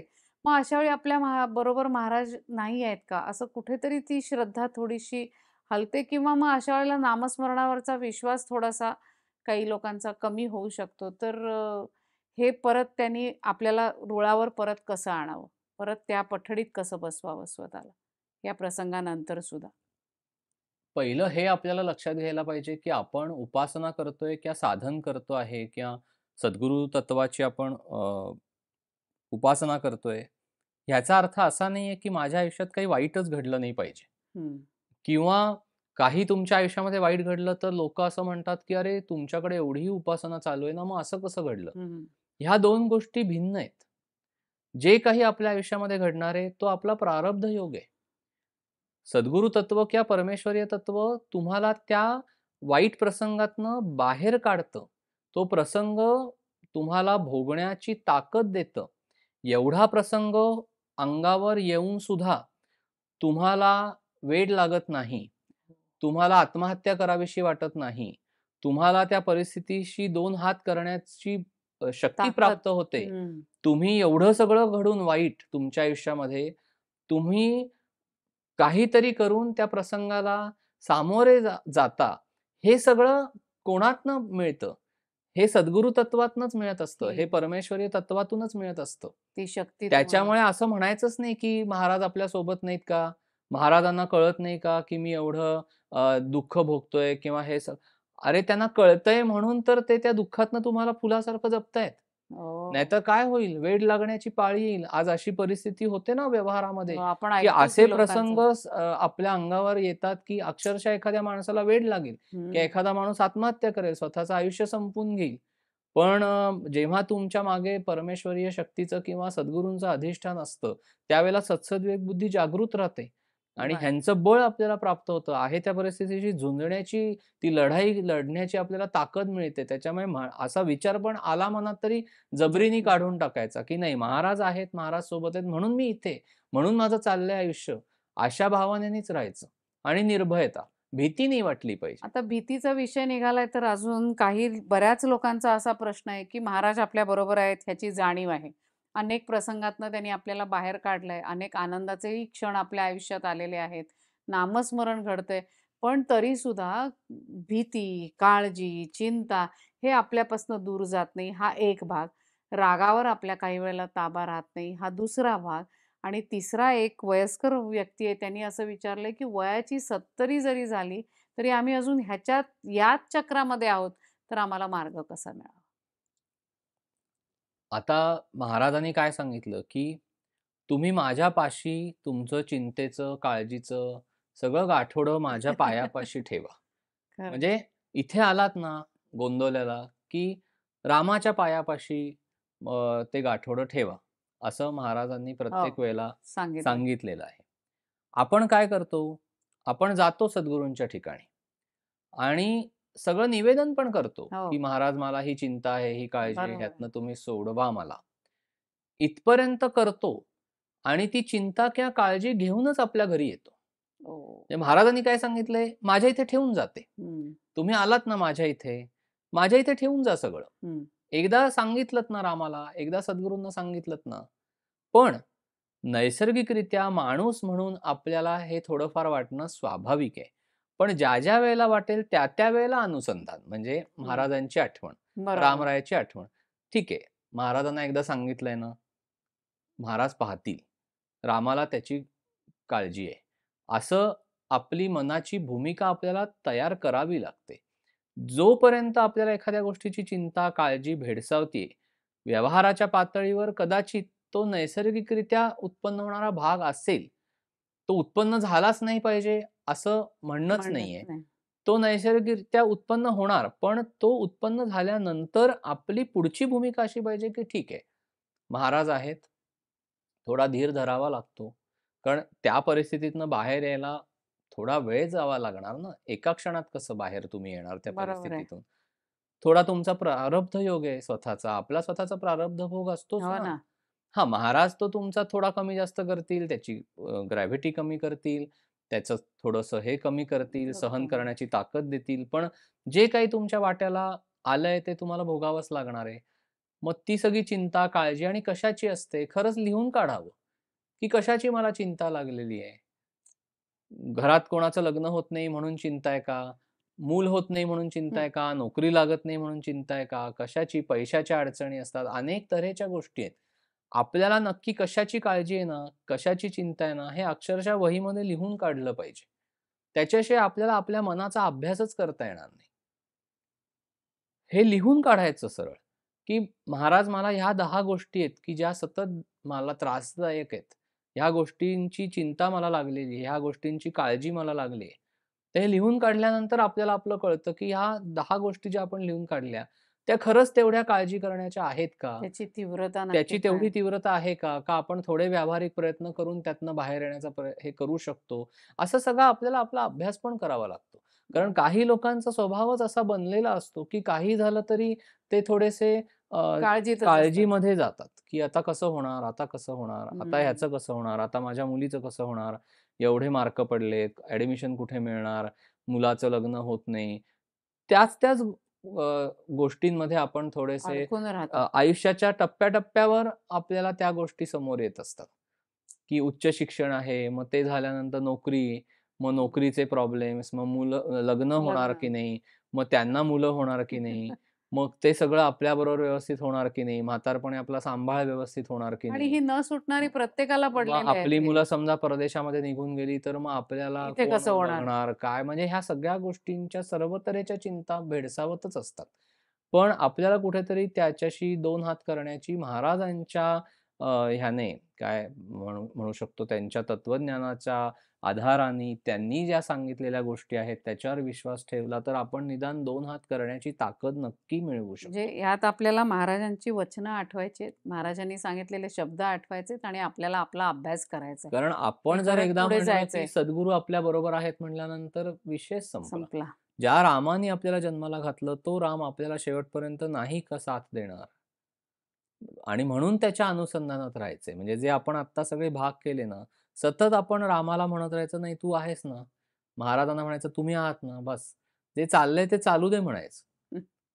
आपण फार आपल्या आयुष्याविषयी किंवा आपल्या मुलांच्या आयुष्याविषयी फार आपण अपेक्षा धरून राहतो ना. म्हणून अपेक्षाभंगाचं दुःख आपल्याला सहन करावं. लागतं. बरोबर. आपण जर असं म्हटलं, की मुलांचं जे काही होणार आहे ते त्यांच्या नशिबाने होणार आहे. मुलं ही त्यांच्या त्यांचं नशीब घेऊन स्वतंत्र नशीब घेऊन मुलं जन्माला आलेली. तुम्हाला कितीही वाटलं, की अमुक-अमुक पद्धतीने सगळं घडावं, तरीसुद्धा ते घडेलच असं नाहीये. त्याच्यामुळे ती मुलं किंवा तुमच्या कुटुंबातल्या इतर सर्व व्यक्ती ज्यांची काळजी आपण करतो आहे, तर कुठेतरी आपल्याला स्वतःला हे थांबवावं लागणार आहे, की ही सगळी जणं त्यांचं त्यांचं नशीब घेऊन जन्माला आलेली आहेत. खरंय. प्रत्येकाचं प्रारब्ध वेगळं, प्रत्येकाचं कर्म वेगळं, प्रत्येकाचं सगळं काही वेगळं आहे. त्याच्यामुळे आपल्याला व्यवहाराच्या पातळीवर जरूर हे सगळं वाटणं स्वाभाविक आहे. पण एका विशिष्ट क्षणानंतर आपण त्यांना त्यांच्या प्रारब्ध योगावरच सोडून दिलं पाहिजे आणि महाराजांना फक्त प्रार्थना करायची, की "महाराज माझी मुलं म्हणजे ती तुमचीच नातवंड आहेत. तुम्हीच आता आमचे आई-बाबा आहात, आ आई-वडील आहात म्हटल्यानंतर ती तुम्हीच आता बघा सगळं काय आहे ते." अशा भावनेनीच आपण मनाचं एक कल आपला असा लावून ठेवायचा तिकडे, सद्गुरू तत्वाकडे किंवा परमेश्वरीय तत्वाकडे. म्हणजे थोडंसं त्यातनं आपल्याला बाहेर बाहेर पडता येतं. म्हणजे हाची सुबोध गुरूंचा मध्ये महाराज जे म्हणतात, की "आनंदात असावे, आळस, भय, द्वेष दूर त्यागावे, हाची सुबोध गुरूचा अनुसंधाना कधी न चुकवावे." खरं आहे. म्हणजे जे आपण म्हणत असतो महाराजांचं तत्वज्ञान हाची सुबोध गुरूंचा मध्ये, ते त्यावेळेला आठवावं आणि आपण पुढे जावं. पण ह्या सगळ्यामध्ये रागावर ताबा कसा मिळवायचा? पटकन आता राग म्हणजे पुन्हा देहबुद्धी म्हणून राग येतो. हो. सगळ्यांनाच राग येतो. कोणीही त्यातनं सुटलेलं नाही. नाही. त्या त्याच्यामुळे अ, आपण जेव्हा त्या अवस्थेमध्ये शिरणार असतो ना, त्याच्या थोडंसं आधी आपल्याला लक्षात येतं. प्रत्येकालाच येतं, अगदी बरोबर आहे. की आता माझा रागाचा पारा वाढत चाललेला आहे. किंवा आता मला स एखादी व्यक्ती इन्स्टिगेट करतीये. हां. इन्स्टिगेशन असतं ना, की कोणीतरी आपल्याला प्रवृत्त करतं. बरोबर आहे. म्हणजे आपल्याला पटकन राग येणं हा आपल्या स्वभावाचा भाग आहे. दोन्ही तऱ्हेच्या गोष्टी घरामध्ये किंवा घराबाहेर घडत असतात, की एक स्वभाव म्हणून आपण शॉर्ट टेम्पर्ड जर असलो, तर छोटीशी काहीतरी गोष्ट घडली, की आपलं एकदम डोकं हे होतं, राग येतो. पण शॉर्ट टेम्पर्ड माणसं नेहमी पटकन शांत पण होतात. म्हणजे जर आपण मानसशास्त्रीय तर. दृष्टिकोनातनं त्याचा विचार केला, तर ज्या माणसाला राग पटकन येतो, तेवढाच तो पटकन शांत होतो. पण होतो. म्हणजे एक 2-3 मिनिटात, 5 मिनिटात तो माणूस एकदम शांत झालेला तुम्हाला आढळेल. आणि ज्या माणसाला राग खूप उशिराने येतो, त्याचा राग खूप वेळ टिकतो सुद्धा. तो निवळत नाही तो. पटकन खाली येत नाही. म्हणजे राग ही भावना अशी आहे, की सर्व माणसांना त्या फेजमधनं कधीतरी जावंच लागतं. मग अशा वेळेला आपण असा अभ्यास करायला लागतो, की जेव्हा कधी आपल्याला कोणी इन्स्टिगेट करत असेल किंवा प्रवृत्त करत असेल, की आपल्याला राग ये येईल आता ह्याच्या पुढच्या टप्प्यावर. त्यावेळेला थोडंसं आधी येऊन, जर आपल्याला महाराजांची आठवण ठेवता आली आणि रामरायाची आठवण आपल्याला जर तिथे झाली, ती फेज फार अवघड असते.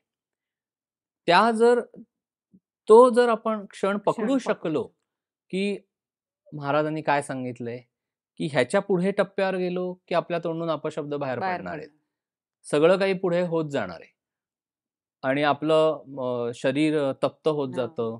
कारण शेवटी ते तत्व निगेटिव्ह. एनर्जीज असतात त्या सगळ्या.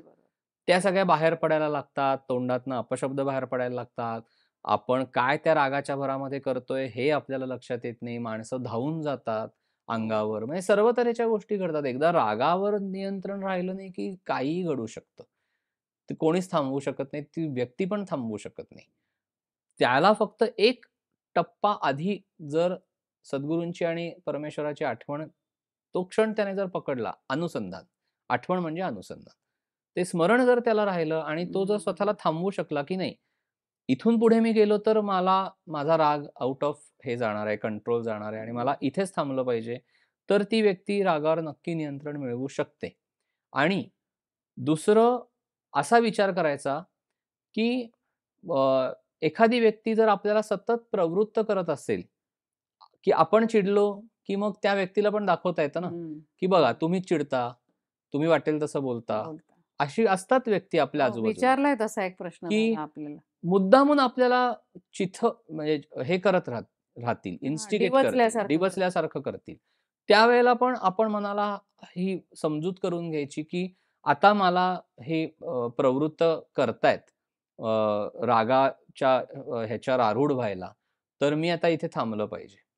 आणि मग अजून एक थोडासा विचार करायचा, की नक्की मला राग कशाचा आलेला आहे? नक्की कशाचा राग आलाय? बरोबर. माझ्या मनासारखं होत नाही म्हणून राग आलाय? माझं बोलणं समोरचा माणूस ऐकत नाही म्हणून राग आलाय?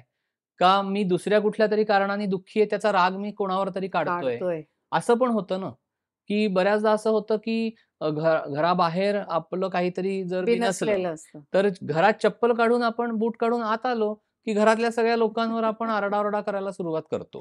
मुलांवर काहीतरी बोलतो बायकोला काहीतरी बोलतो घरातल्यांना काहीतरी बोलतो मग ती सगळी लोक आपल्याला विचारतात का आज बाहेर काहीतरी झालंय का? डोकं शांत नाहीये का? मग जरा शांत व्हा. म्हणजे हे घरातली लोक समजून घेऊ शकतात. पण आपल्याला पण आपला अभ्यास म्हणून समजून घेता आलं पाहिजे.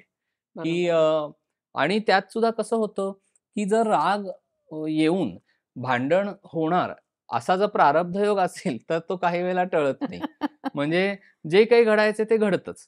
म्हणजे आपण घरात वाद टाळला तर घरातनं बाहेर पडल्यानंतर कामाच्या ठिकाणी होईल रस्त्यात होईल कुठेतरी होईल. पण मग त्यावेळेला आपण महाराजांची किंवा रामरायाची आठवण ठेवली तर त्याची हे कमी करू शकतो. म्हणजे आपण म्हणतो ना फोर्स किंवा आपल्या मनाची फार अशी भावना आणायची नाही. कारण काय होतं? रागामध्ये आपण जी काही साधनेतनं शक्ती उत्पन्न झालेली आहे ऊर्जा उत्पन्न झालेली आहे ती सगळी खर्ची पडते. खर्ची पडते. आणि मग सगळं झालं दोन तीन तास भांडून झालं रागवून झालं तोंडातनं अपशब्द बाहेर पडून झाले सगळं सगळं काही झालं की मग आपल्याला कळतं की जी काही शक्ती साधनेतनं मिळालेली होती ती सगळी दोन तासामध्ये पूर्ण खर्च झालेली आहे. ती सगळी भरून काढायला पुढे आठ दहा दिवस पंधरा दिवस बसावं लागतं. त्याच्यामुळे आपल्याला थोडंसं ह्या सगळ्या गोष्टी मग परत काही लोक हे विचारतात किंवा मनामध्ये असा प्रश्न येतो की मग आम्ही उत्तरच द्यायचं नाही का? म्हणजे एखादा माणूस आम्हाला त्रास देतोय इन्स्टिगेट करतोय प्रवृत्त करतोय मग आम्ही काही संत नाही आहोत किंवा आम्ही काही साधू नाही आहोत की आम्ही शांतपणे बसून राहू. आम्ही पण काहीतरी बोलणार आम्हाला पण आमचं मत मांडायचं असतं. हे- हे सगळं करायचं आहे पण बॅक ऑफ द माइंड महाराजांची आणि रामाची आठवण ठेवून ह्यात पारमार्थिक स्वार्थ असा हे करायचा. म्हणजे कसं आहे की प्रापंचिक भागामध्ये पारमार्थिक स्वार्थ कसा साधायचा? तर मी हे जर सगळं केलं तर माझी उपासना खंडित होणार आहे. माझ्या महाराजांना हे आवडणार नाही. त्यातनं ख उत्पन्न झालेली ऊर्जा सगळी खर्ची पडणार. पडणार आहे. मग हे सगळ्याला महत्त्व कशाला द्यायचंय? प्रापंचिक गोष्टीला द्यायचंय तर मग सगळं खर्च करा. मग तुम्ही त्याचा अनुभव घ्या इकडे महत्त्व द्यायचं असेल तर ह्याला महत्त्व देऊ नका मग कुठेतरी तुम्हाला ते हे करायला लागतं. तेच त्याच अर्थांचा एक प्रश्न होता की हे सगळं झालं दोन तासांनी शांत झालो की आपल्याला जाणवतं की अरे आपण काय करून बसलो मग त्याच्या पुढे येणाऱ्या भावना म्हणजे चिडचिड आणि रुखरुख रुखरुख लागते हा गिल्ट येतो एक प्रकारचा. मनामध्ये अपराधीपणाची भावना येते किंवा आपण काही अपशब्द कोणाला बोललेलो असू तर काही वेळेला समोरच्याचं एवढं चुकलेलं पण नसतं. पण आपण काहीतरी त्याला बोलतो मग समोरचा माणूस काय करतो? ते आयुष्यभर लक्षात ठेवतो. म्हणजे इथे साधकाला फार हे होतं. त्रास होतो. आणि पाच दहा वर्षांनी ती व्यक्ती तुम्हाला ऐकवेल की काय उपयोग आहे? एवढं सगळं तुम्ही देवदेव करताय आणि हे सगळं करताय. कुठे नीट बोलता येते चार शब्द सुद्धा तुम्हाला नीट बोलता येत नाही की तुम्ही. कसे अपशब्द वापरताय? कशा तुमच्या. तोंडातनं हे बाहेर पडताय? हा जो सगळा भाग होतो ना त्याच्यामुळे आपल्या साधनेला पण हे कमीपणा आणल्यासारखं. होतं. त्याच्यामुळे सारखं महाराजांना प्रार्थना करत राहायची आणि ज्या ज्या वेळेला रागाचे किंवा असे प्रसंग उत्पन्न होतील म्हणजे पहिली तर प्रार्थना अशी करायची की हे प्रसंग माझ्या आयुष्यात उत्पन्नच होऊन देऊ नका. ही तर पहिली प्रार्थना करायची. दुसरी प्रार्थना अशी करायची की ते उत्पन्न होत आहेत असं वाटलं तरी मला शांत ठेवा. की मला तो प्रसंग टाळता आला की मग नंतर सगळ्यांचाच राग शांत झाल्यानंतर आपल्याला आपल्या मनातलं सगळं सांगता आलं पाहिजे शांतपणे. अशा अवस्थेपर्यंत तरी न्या. म्हणजे आपली न बोलून मानसिक कुचंबणा करून घ्यायची नाहीये. आपल्याला सगळं बोलायचंच आहे. जे आपल्याला पटत नाही ते आपल्याला सांगायचंच आहे. ज्या व्यक्तीबरोबर आपण भांडतोय. सपोज तर त्या व्यक्तीला आपल्या मनात काय आहे हे शांतपणे सांगायचंच आहे. पण भांडणाच्या भरामध्ये सांगत जाताना काय होतं? बऱ्याचदा मूळ विषय बाजूला राहतो आणि आपण जुनं पुराणं काहीतरी काढून भांडत म्हणजे तो विषयच खरं नसतो. म्हणजे भांडण सुरू झालेलं असतं वेगळ्याच विषयामुळे. पण आपण मागचे काही प्रसंग काढतो. त्याच्यामुळे त्याचं सगळं हे बिनसत जातं मग सगळं. त्याच्यामुळे आपण त्यावेळेला शांत राहायचं. एक दिवस जाऊन द्यायचा. ते सुद्धा आपल्याला करता येतं. की. जेव्हा एखादी गोष्ट घडतीये ना आपण सगळ्यांनी एक दिवस जाऊन द्यायचा. म्हणजे प्रत्येक वेळेला लगेच रिॲक्ट लगेच प्रतिक्रिया द्यायची नाही. चोवीस तास अठ्ठेचाळीस तास बहात्तर तास जाऊन द्यायचे. एक दोन तीन दिवस जाऊन द्यायचे. अजिबात प्रतिक्रिया द्यायची नाही. महाराजांना सारखं हे करत राहायचं. किंवा रामाला सारखं की आत्ता असं घडलंय. मी प्रतिक्रिया कुठली दिलेली नाहीये. पहाटे उठल्यानंतर महाराज काहीतरी सांगतायत का बघायचं? अजून दुसऱ्या दिवशी काही सांगतायत का? तिसऱ्या दिवशी काही सांगतायत का? कारण पहाटे जेव्हा तुम्ही झोपेत न उठता त्यावेळेला जागृत झाल्यानंतर जो पहिला विचार मनामध्ये येतो तो बऱ्याचदा सद्गुरूंकडनं आणि परमेश्वरी तत्वाकडनं आलेला असतो. त्याच्यामुळे तिथे तुमच्या प्रश्नाचं उत्तर असतं. म्हणून एक रात्र जाऊन द्यायची. लगेच प्रतिक्रिया दिवसातल्या दिवसात द्यायची काही आवश्यकता नाहीये. आपल्याला जेव्हा एखादी चिंता किंवा काळजी भेडसावण्याचा विषय आला की एक दिवस जाऊन द्यायचा. दुसऱ्या दिवशी जरा थोडस महाराजांच्या पाशी रात्री झोपताना विषय ठेवायचा. आपण जेव्हा झोपतो त्यावेळेला झोपता झोपता महाराजांना आणि रामाला सांगून झोपायचं की मी ह्याच्यातनं चाललेलो आहे असा असा त्रास होतोय तुम्ही बघा. जेव्हा उठाल ना त्यावेळेला बऱ्याचदा तुम्हाला तुमच्या प्रश्नाचं उत्तर सापडेल. आणि मग त्याच्यावर पण पुढचा एखाद दोन दिवस जरा विचार करायचा. जाऊ द्यायचा जाऊ. द्यायचा जरा काळ. दोन तीन दिवस जाऊन दिले ना की मग चौथ्या दिवशी जर ती इंटेन्सिटी टिकून राहिली ना मग समजा की हा ह्याच्यात काहीतरी आहे. तथ्य तुमच्या त्या चिंतेत काळजीमध्ये तथ्य आहे. मग चौथ्या पाचव्या दिवशी तुम्ही ते बोलायचं. हो. असं थोडंसं आपल्याला थोडंसं पेशन्स धीर ठेवावा लागतो. तुम्ही म्हणालात की धीर ठेवा. प्रत्येक गोष्ट रात्री महाराजांना सांगा. मी आत्ता शांत राहिलोय ते महाराजांना सांगा. आलेला प्रसंग महाराजांना सांगा. मग एकाने आपल्याला प्रश्न असा विचारला इतकं जाऊन जर का आपण प्रत्येक गोष्ट आपल्या सद्गुरूला आपल्या उपास्य दैवताला विचारत असू तर ते उपास्य दैवत ते सद्गुरू इरिटेट होणार नाहीत का? अगदी प्रामाणिक प्रश्न आहे खरं कारण आपण त्यांना आपल्या पातळीवर त्यांच्याशी अनुसंधान साधतोय ना त्यांना आपला मित्र म्हणतोय आपले आई वडील म्हणतोय तर आपली आई सुद्धा चिडते की आता जा गपचूप तिथे बैस म्हणून. तर महाराजांचं किंवा सद्गुरूंचं काय होत असेल? दोन गोष्टी आहेत ह्याच्यामध्ये. हा. एक म्हणजे महाराज काही इरिटेट वगैरे होत नाही कारण त्यांनी सांगितलंय मी आई आहे. तुम्ही माझ्याशी सगळं मोकळेपणाने येऊन बोला. फक्त त्यांना म्हणजे असं वाटत असेल की जे मी सांगतोय ना ते तुम्ही ऐका. ते जर ऐकलं नाही तर मात्र त्यांना थोडस बरोबर आहे. हे वाटत असेल की अरे मी एवढं सांगतोय ना तुम्हाला. तर तुम्ही त्या मार्गाने जा ना. तुम्ही रामावर भरोसा ठेवा. तुम्ही नामावर विश्वास ठेवा. करेक्ट आहे. ज्या काही गोष्टी महाराजांनी आपल्याला सांगितल्या त्या गोष्टींवर विश्वास ठेवला तर आपण पुन्हा पुन्हा जाऊन त्यांना तेच सांगणार नाही. म्हणजे दहा वेगवेगळ्या गोष्टी महाराजांना सांगणं वेगळं आणि एकच गोष्ट पुन्हा पुन्हा पुन्हा. पुन्हा जाऊन सांगणं वेगळं. मग तिथे आपला पण आपल्यावर थोडासा हे पाहिजे की ठीक आहे आणि ह्या सगळ्या नैसर्गिक गोष्टी आहेत. त्याला कुठला असा काही हे नाही हार्ड अँड फास्ट रूल नाही. एखादा माणूस खरंच विवंचनेमध्ये असेल तर तो शंभर वेळा देवाला हाक मारेल किंवा महाराजांना हाक मारेल त्याच गोष्टीसाठी. तो अक्षरशः त्यांना हे करेल कारण ती पूर्ण होईपर्यंत त्याच्या कारण ते त्या. ह्याच्यामध्ये आहे परिस्थिती तेवढ्या त्या. परिस्थितीमध्ये.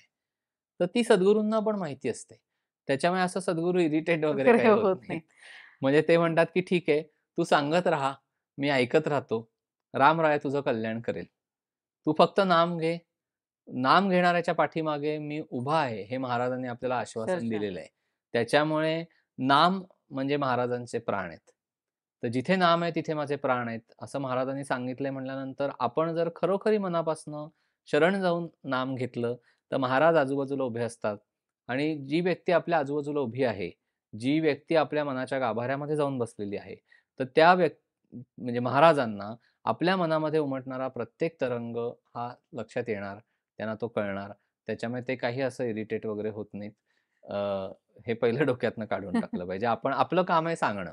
बस आपण. आपण आणि त्यांचं ऐकणं. आपल्याला आई कितीही म्हणाली की अजिबात आता भुणभुण करू नकोस. तरी पाचव्या मिनिटाला आपण आईपाशी जाऊन काहीतरी भुणभुण करतोच. त्याच्यामुळे हे आई आणि मुलाचं नातं असल्यामुळे आपण महाराजांना सारखं सांगत राहायचं बस. आणि आपण स्वतः मोकळं होत राहायचं. आपण आपलं सगळं महाराजांना सांगत राहायचं. आता तुम्ही उल्लेख केलात की आपल्या मनात उठणारा प्रत्येक तरंग त्यांना कळतो. बरोबर आहे? आपल्या सतत ते बरोबर आहेत हृदयस्थ आहेत. मग आपण जो जप करतो तो मोजावा का? आणि तो मोजून त्यांना सांगावा का? किंवा जपसंख्या ही आपण लक्षात ठेवावी किंवा जप माळ घेऊन जप करावा का नको असाही एक प्रश्न आता काय आहे. हा भाग आहे तो संख्येशी रिलेटेड आहे त्याच्यामुळे काही जणांचा आता संकल्प सोडलाय सपोज की सव्वा कोटी आहे, कोणी 3.5 कोटी, 13 कोटी. तर आपण संकल्प आपला पूर्ण झालाय की नाही, हे कळण्यासाठी तो लिहून ठेवणं, ही सुद्धा मी म्हटलं तशी फक्त कृती म्हणूनच करायचं, की हां, एवढा-एवढा झाला. त्यात हे लावायचं नाही आपलं कर्तेपण, की मी तो केला. असंही नाही. महाराजांनी करून घेतलेलं आहे. महाराजांना माहितीच आहे. त्यातला किती मागच्या कर्मांची हे काय जाळण्यासाठी तो खर्ची पडला, ह्याचाही आपण काही विचार करायचा नाही. जर आपण संकल्प केलेला असेल किंवा जर आपला काही नेम असेल, की नेसेसरी नाहीये, की तुम्ही काही संकल्प केलाय आणि मग तो लिहून ठेवताय. काही वेळेला आपला नेम असतो. तर आपल्याला नियम म्हणून आपण लिहून ठेवायला काही हरकत नाही. म्हणजे जेव्हा 2-4 दिवस लिहिलं जाणार नाही ना, त्यावेळेला 5व्या दिवशी तरी कळेल, की वहीमध्ये आपण रोज लिहितोय, की आजचा जप एवढा-एवढा पूर्ण झाला. उद्या एवढा-एवढा पूर्ण झाला. हे लिहिताना मध्ये जर 2-3 दिवस जप झाला नाही, तर ज्यावेळेला जप होऊन परत तुम्ही वहीमध्ये लिहायला जाल, त्यावेळेला तुम्हाला कळेल, की अरे मधले 2-3 दिवस आपला जप झालेलाच नाहीये. तेव्हा तो गिल्ट आला पाहिजे. तेव्हा ती अपराधीपणाची भावना आली पाहिजे, की अरे माझ्याकडनं जप होत नाहीये रोजचा. जो व्हायला पाहिजे. कमीत कमी 45 मिनिटं ते एक तास हा जप व्हायलाच पाहिजे. आज असं होतंय, की लोकांचा जप नाही होते अनेक लोक माझ्याशी संपर्क साधून हे सांगतायत, की आम्ही अनुग्रह घेतलेला आहे, पण आमचा जप महाराजांना जसा अपेक्षित आहे किंवा जेवढा व्हायला पाहिजे, तेवढा आमचा नाही होत. तर त्याला जबाबदार आपणच असतो. त्याच्यामुळे बऱ्याच लोकांचं जे लोकांनी मला सांगितलंय त्याच्यावरनं हो. मला कळतंय.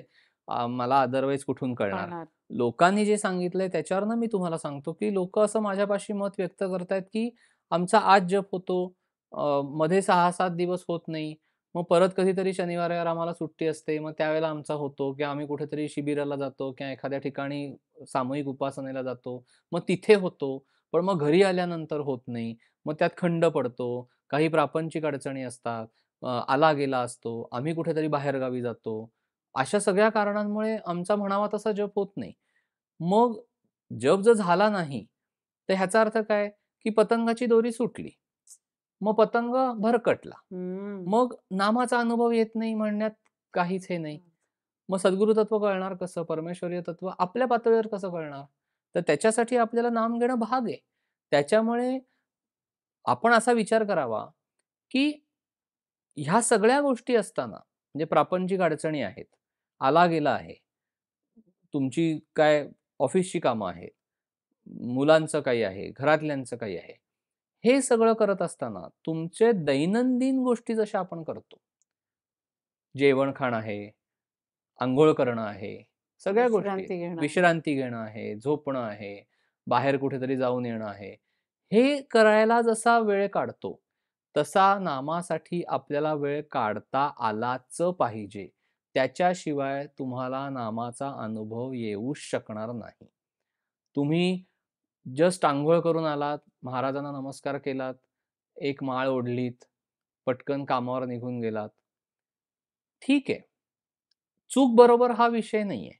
जर अनुभव यायचा असेल, तर रोज बैठक, रोज म्हणजे महिन्यातले 2-3 दिवस आपण समजू शकतो, की लवकर उठून आपल्याला जायचंय. पहाटे 4ला उठून आपण गेलो. मग त्यावेळेला आपण प्रवासामध्ये जप करून तो थोडाफार भरून काढतो. भरून काढतो. किंवा समजा आपण आध्यात्मिक ठिकाणी जाणार असू, तर मग आपण विचार करतो, की हां, ठीक आहे. माझा घरातला पहाटेचा जप नाही झाला. पण समजा मी गोंदवलेला गेलोय किंवा मी कुठे सद्गुरूंच्या ठिकाणी गेलोय किंवा कुठेही म्हणजे. तर तिथे मग मी आपण तो अर्धा पाऊण तास शांतपणे बसून तो जप महाराजांच्या इथे सद्गुरूंच्या ठिकाणी आपण तो भरून काढतो. तर हे आपलं सारखं अ, तयार पाहिजे डोक्यामध्ये.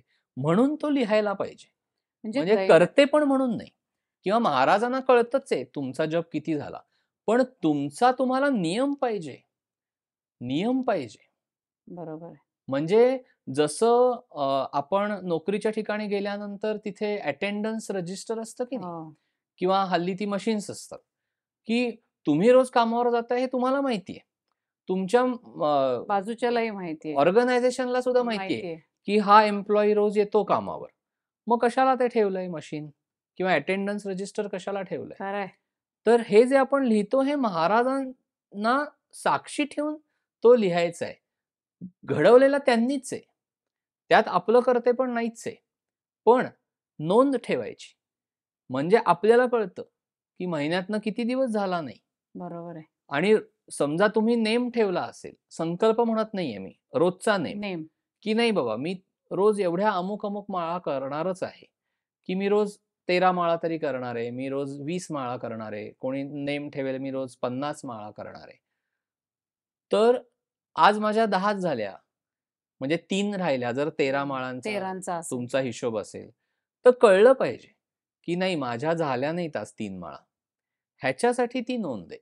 म्हणजे बाकी काही त्याच्यामध्ये हे. आणि ही उपासना ही आपली दैनंदिन जीवनातली महत्वाची गोष्ट आहे. अविभाज्य भाग बनला पाहिजे हा. जसं तुम्ही जेवायला डायनिंग टेबलवर बसता की नाही तो अविभाज्य भाग असतो तो तुमच्या कोणी आयुष्यात सांगायला नाही लागत तो आपल्याला तुम्हाला सांगायला लागत नाही तुम्ही ताट घेता जेवता ती दहा पंधरा मिनिटं काढतोच ना आपण. आपण आपल्या सगळ्या गोष्टींसाठी वेळ काढतो. म्हणजे काही वेळेला असं जे म्हणणं आहे ना की सगळे तरंग महाराजांना कळतात मग लिहून कशाला ठेवायचं? हे आपण पळवाट काढतो काही वेळेला. तुमच्या अभ्यासासाठी लिहून हा ठेवा. हा. मोजणं किंवा माझा एक लाख झाला पाच लाख झाला दहा लाख झाला. संख्येत अडकू नका. ते अडकायचंच नाहीये आपल्याला. नेम आजचा माझा झाला की नाही झाला? किती दिवस झाला? किती दिवस ठेवण्यासाठीच आहे ते. मुद्दामून आपल्या मनामध्ये आपलं साधन व्यवस्थित होत नाही ह्याची अपराधीपणाची भावना उत्पन्न होण्यासाठी म्हणून ते लिहायचं. म्हणजे मग कळतं की होत नाहीये होत. नाहीये. म्हणजे महाराजांच्या पाशी जायला तोंडच नाहीये. की होतच नाहीये साधन. तर आपण काय? काय जाणार महाराजांच्या इथे? आता जेव्हा आपण अनुग्रह घेतलेला आहे आपण नाम घेतोय. पण ह्याचा अर्थ असा नाहीये की म्हणून आपण हे सगळं सोडून द्यायचं. महाराज काय जिथे तुम्ही राहता तिथे तुमच्या घरातच महाराज राहतात. त्याच्यामुळे तसं नाही. आपल्याला सदैव त्यांची आठवण अशी पाहिजे की महाराजांच्या घरामध्ये आपण राहतो सद्गुरूंच्या घरामध्ये राहतो आणि त्यांनी सांगितलेलं साधन आपण नाहीच करत नाहीये. आपण आपल्या विषयामध्ये प्रपंचामध्ये इतके गुरफटलेलो आहोत की आपल्याकडनं साधनच घडत नाहीये. ह्याची टोचणी ह्याची बोच आपल्याला लागली पाहिजे. ह्याची अपराधीपणाची भावना आपल्या मनामध्ये उत्पन्न व्हायला पाहिजे. चांगल्यासाठी. चांगल्या भा चांगल्या ह्याने हा. त्यातनं आपल्याला चांगलं मिळवायचंय ना. चांगलं काहीतरी घडाय घडवायचंय. परमार्थ करावा लागतो तो स्वतःला जबरीनी करावा पण लागतो. जरी महाराज घडवून आणत असतील तरी सुद्धा. कारण आपल्याला उत्तमाकडे जायचंय हा म्हणजे जरी शिक्षक अभ्यास घेत असतील तरी मुलाला तो करावा पण लागतो. त्याच्याशिवाय तो होणार नाही ना. नाही ना. तसं आहे ते. महाराज आहेत.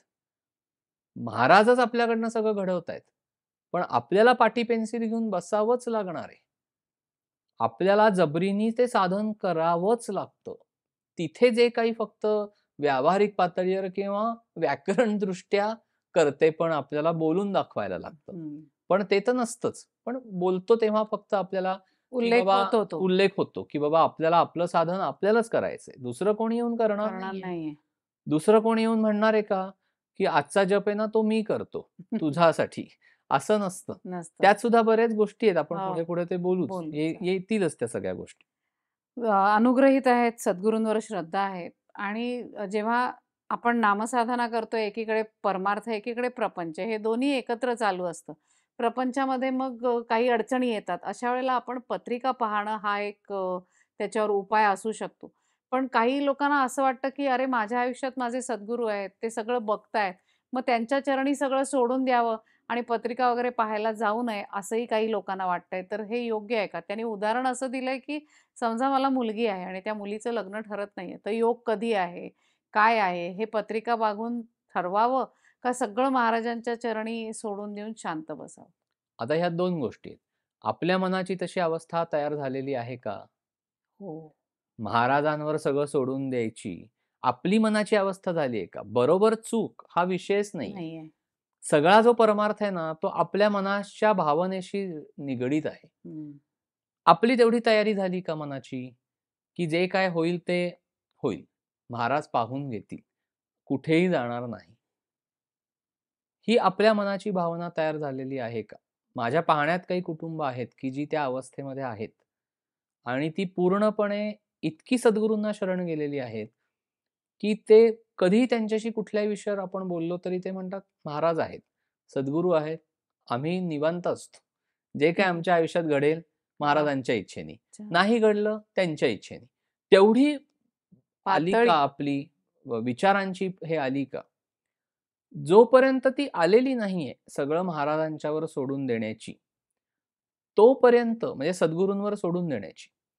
तोपर्यंत पत्रिका बघून एखाद्या जाणकार व्यक्तीकडनं मार्गदर्शन घ्यायला काहीही हरकत नाही. पण इथे कसं आहे, हे सुद्धा महाराजांच्या साक्षीनी. आणि महाराजांना सांगूनच करायचं, की मुलीचं लग्न ठरत नाहीये. तर एखादी जाणकार व्यक्ती आहे, की जी उत्तम पत्रिका बघून आपल्याला काही मार्गदर्शन करू शकेल किंवा. काही योग कधी आहे सांगू शकेल. कारण शेवटी कसं असतं, की आपल्याला आपल्या मनाची धारणा तेवढी बनवायला लागते. समजा त्या व्यक्तीने सांगितलं, की अजून वर्षभर तुमच्या मुलीचा लग्नाचा योग नाहीये. तर वर्षभर आपल्याला एक मनात कुठेतरी आपण ठीक आहे बाबा वर्षभर तग धरतो की बाबा नाहीच आहे योग तिचा पुढच्या वर्षी आहे. तर आपण निदान ते वर्ष पुढे नेतो. व्यवस्थित पण. हे सगळं सुद्धा महाराजांच्या साक्षीने व्हायला पाहिजे. तो सोडायचाच नाहीये दावा. महाराजांना तिथे सोडायचंच नाहीये. म्हणजे आपण पत्रिका दाखवायला गेलो, तरी सुद्धा महाराज तुम्ही माझ्याबरोबर चला म्हणायचं. म्हणजे सगळीकडे महाराजांना घेऊनच. मग जसं आपण एखाद्या डॉक्टरकडे जातो की नाही, हो. आपल्याला काही होत असलं तर. मग. आपण महाराजांना म्हणतो ना, की महाराज उद्या माझं अमुक-अमुक ऑपरेशन आहे. महाराज तुम्ही तिथे ऑपरेशन थिएटरमध्ये तुम्ही थांबा. तुम्ही माझ्याबरोबर सदैव राहा. सगळीकडे महाराजांना घेऊन जायचं. जे, जे काही होतंय म्हणजे उद्या त्या पत्रिका पाहिल्यानंतर एखाद्या मार्गदर्शकाने काही उपाय जरी तुम्हाला सांगितला, तरी तेही महाराजांना येऊन सांगायचं. आणि मग मगाशी मी म्हटलं. तसं, की थांबा 1-2 दिवस, 4 दिवस थांबा. महाराज तुम्हाला काहीतरी प्रेरणा देतील. बरं. आणि महाराजांना जर तो उपाय तुम्ही करण्याची आवश्यकता नाही, असं जर वाटलं, तर तुम्हाला मनातनं महाराज जाण जाणीव करून देतील, की "अरे तू ह्याच्यामध्ये जाऊ नको. ह्याच्यात तू पडू नको." कळलं का? हो, हो. की तू गेलास परवा एखाद्या ज्योतिषाला पत्रिका दाखवायला किंवा एखाद्या मार्गदर्शकाला, पण त्याने जे सांगितलेलं आहे, ते तू करू नकोस. रामराय तुझं करून देईल. तू धीर धर. अशी सुद्धा एखादी जाणीव महाराज तुम्हाला करून. देतील.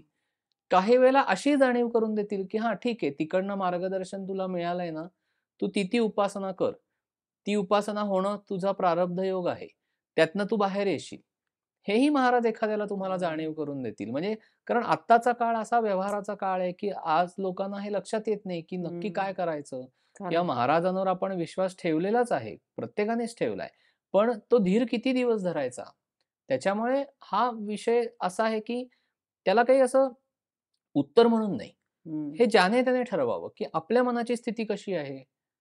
आणि मग जर आपण काय म्हणतो त्याला सगळं महाराजांच्या साक्षीने करणार असू, पण आपल्याला कुठेतरी आपले आपला तो धीर धरता यावा आपल्याला, म्हणून आपण थोडंसं मार्गदर्शकाकडे जाणार असू, तर सगळं महाराजांच्या साक्षीने करायचं.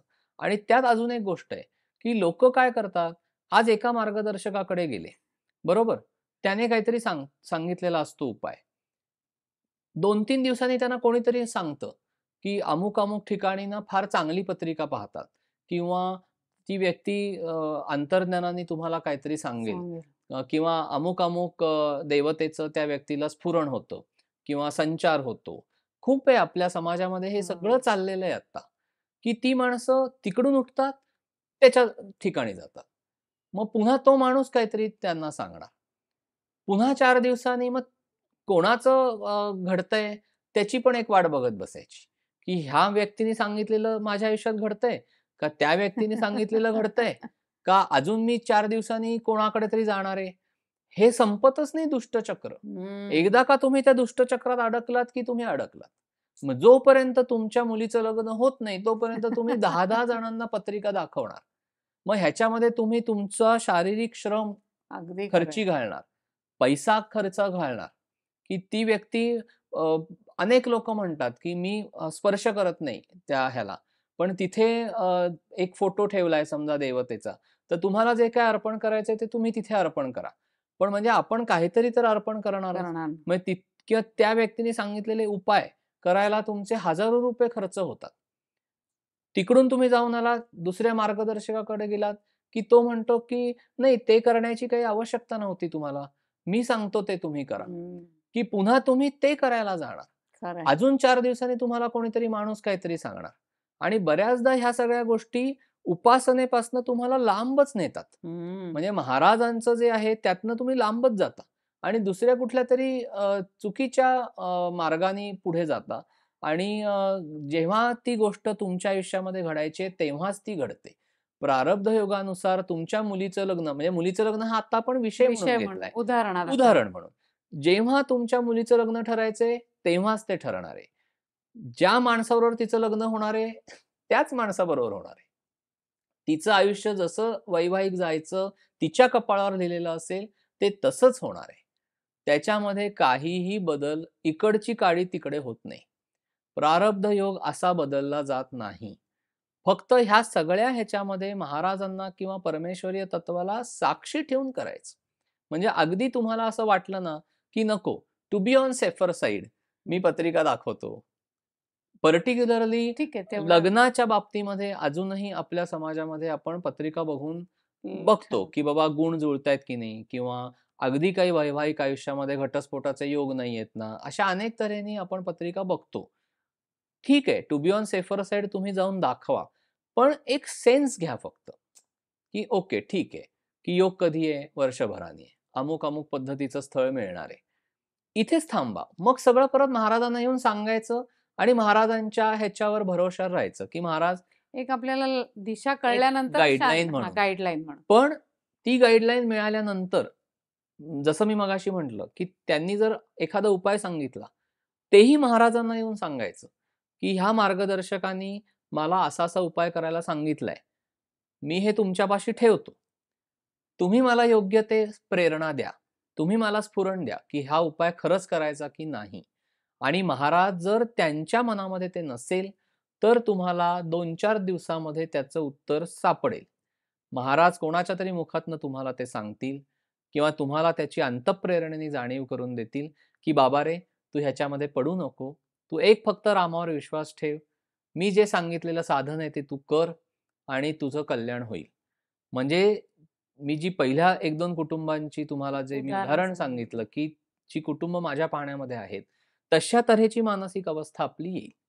आणि जोपर्यंत ती अवस्था आपली येत नाही, सगळंच प्रारब्धावर सोडून देण्याची किंवा सगळंच महाराजांनी महाराजांवर किंवा रामरायावर सोडून देण्याची आपली मनाची जोपर्यंत अवस्था येत नाही आणि म्हणून आपण जर एखाद्या मार्गदर्शकाकडे जात असू, तर सगळं महाराजांच्या साक्षीने करायचं.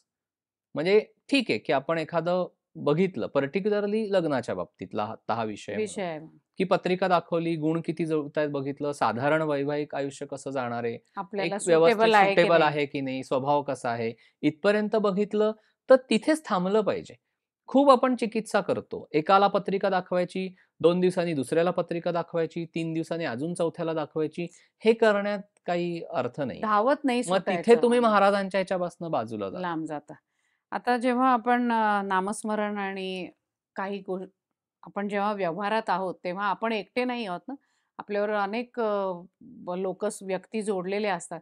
तर काही व्यक्ती आपल्याला काही वेळेला काही गोष्टी बोलून जातात. तिथे आपण ऐकून घेतो किंवा गप्प बसतो जसं मगाशी म्हटलं तसं. पण जेव्हा साधनेला बसतो, उपासनेला बसतो, तेव्हा त्या गोष्टी उफाळून येतात आणि तेव्हा अश्रुपात व्हायला सुरुवात होते आणि आपल्याला तेव्हा आपल्याला आवरता येत नाही स्वतःला आणि मग ती सगळी परत गोंधळ होतो. आपली उपासना बाजूला होते. दुःख होत राहतं. ही जी सगळ्या गोष्टी आहेत ह्याच्यात आपण कसं आपल्याला अश्रुपात होणं हा जो भाग आहे ना, काय आहे, की माणूस दुःख भोगतोय. हो. आपण सगळे कुठे ना कुठेतरी मनातनं काही कारणाने दुःखी असतो. तर ज्यावेळेला आपण आपल्या सद्गुरूंपाशी किंवा रामापाशी किंवा उपास्य दैवताच्या समोर येऊन बसतो किंवा नुसतं त्याच्या रूपाकडे पाहतो, त्यावेळेला आपल्याला ज्या गोष्टीमुळे आपण दुःख भोगतोय. त्याची जाणीव खूप उफाळून येते. बरोबर. त्या दुःखाची. म्हणजे काही वेळेला ते आनंदाश्रू असतात. पण बऱ्याचदा आपल्या दुःखाच्या जाणीवेतनं उत्पन्न झालेले अश्रू असतात. की त्यात सुद्धा 2 प्रकार आहेत. म्हणजे जर संकटामध्ये असाल, तर त्यावेळचे अश्रू वेगळे बाहेर येतात. संकटातनं बाहेर पडल्यानंतर एक ग्रॅटिट्यूड असतो ना, बरोबर आहे. की जेव्हा आपण अशा काही ह्याच्यातनं बाहेर पडतो आणि मग जेव्हा सद्गुरूंच्या स्थानी जातो आणि त्यांच्या समाधीच्या पुढे, तेव्हा आपण एकदम असे हे होतो, की. काय संकटातनं महाराजांनी मला बाहेर काढलं. किंवा रामानी मला हो बाहेर. काढलं. ती एक अवस्था असते. काही आनंदाश्रू असतात किंवा काही वेळेला समजा आता दुःखाचा विषय म्हणून आपण बोललो, तर समजा तुम्ही दुःखी आहात आणि त्यावेळेला जेव्हा आपण साधनेला बसतो, त्यावेळेला बऱ्याचदा आपल्याला रडायला यायला लागतं, की जी व्यक्ती आपल्याला चुकीचं वागली बोललेली आहे, जुन्या काही आठवणी काही कारणाने उफाळून येतात. तर ह्या सगळ्या गोष्टी घडणार. तर त्यावेळेला तो अश्रुपात होऊन द्यायचा. म्हणजे हे काय आता माझ्या डोळ्यामध्ये अश्रू येतायत, मग हे कमकुवतपणाचं. लक्षण आहे का? असंही काही लोकांना वाटतं. बरोबर आहे. तर तसं काही नाहीये. अश्रू म्हणजे जे सगळ्यात शुद्ध आहे, तेच आपण परमेश्वराला अश्रूंच्या रूपाने देतो ना. अश्रूच व्हायचेत ना आपल्याला. त्यांच्या समाधीवर आपल्या अश्रूंचाच अभिषेक व्हायला पाहिजे. अश्रूंच्या अभिषेकाशिवाय दुसरं काहीच नाही. आणि जे सगळं दुःख असतं, जे सगळं चुकीच्या कर्मातनं उत्पन्न झालेल्या गोष्टी असतात, त्या सगळ्या अश्रूंच्या रूपाने वाहून तुम्ही मोकळे होता. आणि ज्यावेळेला सगळं वाहून गेल्यानंतर 15-20 मिनिटांनी तुम्हाला हलकं वाटतं. त्याच्यामुळे अजिबात असं मनामध्ये आणायचं नाही, की. अश्रुपात होतोय, मग तो बरोबर आहे का? चुकीचा आहे? जागा. हक्काची आहे, की जिथे आपल्याला ह्या सगळ्या भावना आहेत त्या. आपण माणसं आहोत. त्याच्यामुळे माणसाच्या त्या भावना आहेत. त्याला सगळ्या गोष्टी येणं, त्या आनंदाश्रू. येणं, काय अष्टसात्विक भाव जागृत झाल्यानंतर अश्रुपात होणं, या सर्व भावनाच आहेत. परमेश्वरीय शक्तीचं दर्शन झाल्यानंतर डोळ्यातनं पाणी. येणं. तर त्याच्यासाठी लाज बाळगण्याची आवश्यकता नाही. अनेक लोकं, मी लोकांच्या समोर कसं रडू? मग लोकं मला काय म्हणतील? लोकांना असं वाटेल का, की मी ह्याचं प्रोपगंडा किंवा शो ऑफ करतोय? म्हणून लोकं त्यांचा अश्रुपात थांबवतात किंवा त्यांना ज्या भावना येत असतात उफाळून किंवा उचंबळून, ते लोकं थांबवतात स्वतःला. त्याच्यामुळे ते अजून ते स्वतःला त्रास करून घेतात. तर अशा वेळेला आपण मोकळं व्हायचं. देवाच्या दरबारामध्ये, सद्गुरूंच्या दरबारात आल्यावर लोकांची फिकीर कशाला करायची? आपण आणि आपले महाराज, आपण आणि आपला रामराया. काय रडायचे ते रडून घ्या त्याच्यासमोर. काही फरक पडत नाही. कोणी घरातली लोकं म्हणाली, "काय तुम्ही रडताय? काय झालं तुम्हाला? सुखासुखी कशाला रडताय देवापुढे बसून?" तर ती ग्रॅव्हिटी लोकांना नाही कळू कळणार. नाही. आणि ती. सांगायला पण जायची नाहीये. आपण आपल्या मस्तीमध्ये राहायचं. म्हणजे ती जी एक हे असते ना, मा नामाची जी धुंदी किंवा नामाची जी मस्ती. म्हणतो ना, त्या ह्याच्यामध्ये, त्या आनंदामध्ये राहायचं. बरोबर आहे. आत्तापर्यंत आपण सगळे अनुसंधानाविषयी, आपापल्या साधनेविषयी आणि अनुसंधान इथपर्यंत आज ह्या भागात बोललो. पुढच्या भागामध्ये दादा असे अजून प्रश्न आहेत, की जे आपल्याला व्यावहारिक पातळीवर अनुसंधान टिकवताना काय-काय अडचणी येतात किंवा पॉझिटिव्हिटी, निगेटिव्हिटी, आपला ऑरा, युवा शक्तीला होणारं मार्गदर्शन, अशा अनेक गोष्टी अजून लोकांनी प्रश्न विचारलेले आहेत. त्या भागाबद्दल तुम्ही आम्हाला पुढचे आपण अजून 1-2 भाग करू. बरं. जसे प्रश्न असतील. जसे कारण आहेत अजून बरेच ह्या अनुषंगाने आलेले प्रश्न आहेत. मग एकदा हे सगळे प्रश्न झाले, की मग आपण नवीन परत निरूपणाचा, अ, चिंतनाचा परत विषय घेऊ. आपण 1-2 भाग अजून करू आपण काही. चालेल, हरकत नाही. तर अ, सर्व साधकांना आता आपण इथे थांबतोय असं म्ह सांगतेय मी. कारण अजूनही काही प्रश्न आहेत, ज्याला पुढच्या भागामध्ये आपल्याला दादा उत्तरं देतील. त्यातनं आपलं शंका समाधान होईल. पण आजच्या या भागामध्ये आपल्याला श्रद्धा, अनुसंधान कसं टिकवायचं, आपला रोजचा अभ्यास आपण कसा करायचा आणि नाम, आणि मी सगळ्यांना हेच सांगेन, की जे काही बोललं जातं ते महाराजांच्या प्रेरणेने आणि बोलवतात आणि महाराज आहेत. तरीही त्यातून काही गोष्टी तुम्हाला पटल्या, तर तुम्ही त्या घ्या. ज्या गोष्टी पटल्या नाहीत, त्या सोडून द्या. त्याचं कुठलंही आग्रह नाही, अट्टहास नाही, की हे पटलंच पाहिजे, असं काहीही नाहीये. तुम्ही तुमचा शांतपणे विचार करा. आपण आपल्या जागी विचार करायचा. जी गोष्ट पटली ती घ्यावी, नाही तर ती सोडून द्यावी. पण नामस्मरण आपला हा नाही. रोजच्या आयुष्यातला, दैनंदिन आयुष्यातला अविभाज्य भाग असावा, जेणेकरून आपला आपल्या सद्गुरूचरणी तेवढं मात्र आहे, की त्याचं अधिष्ठान. पाहिजे. त्याच्याशिवाय होऊ शकणार नाही. काही घडू शकत नाही. म्हणजे जर आपण. साधनेच्या मार्गावर असू, तर आपल्या सद्गुरूंनी आपल्याला जे साधन सांगितलं, ते आपल्याकडनं आटोकाट. आटोकाटीने करण्याचा आपण प्रयत्न करायचा. घडवणारे तेच आहेत. महाराज, तुमच्या चरणी एक प्रार्थना करून आम्ही थांबतो, की ह्या सगळ्यातनं आमचं अनुसंधान टिकावं. आमची प्रार्थना तुमच्यापर्यंत पोहोचतीच आहे. तर तुम्ही आम्हाला ते बळ द्यावं आणि तुमच्या चरणी अशीच सेवा आमची घडावी आणि अशी ही रामरायालाही प्रार्थना करून आपण इथे थांबूया. आपदामपहर्तारं दातारं सर्वसंपदां लोकाभिरामं श्रीरामं भूयो भूयो नमाम्यहम्. जय श्रीराम. जय श्रीराम. धन्यवाद दादा. आज. खूप छान पद्धतीने तुम्ही अनेक गोष्टी उलगडल्यात, जेणेकरून आम्हाला पुढच्या प्रवासाला त्या उपयोगी पडतील, अशी मला नक्की खात्री वाटते. जय श्रीराम. जय श्रीराम.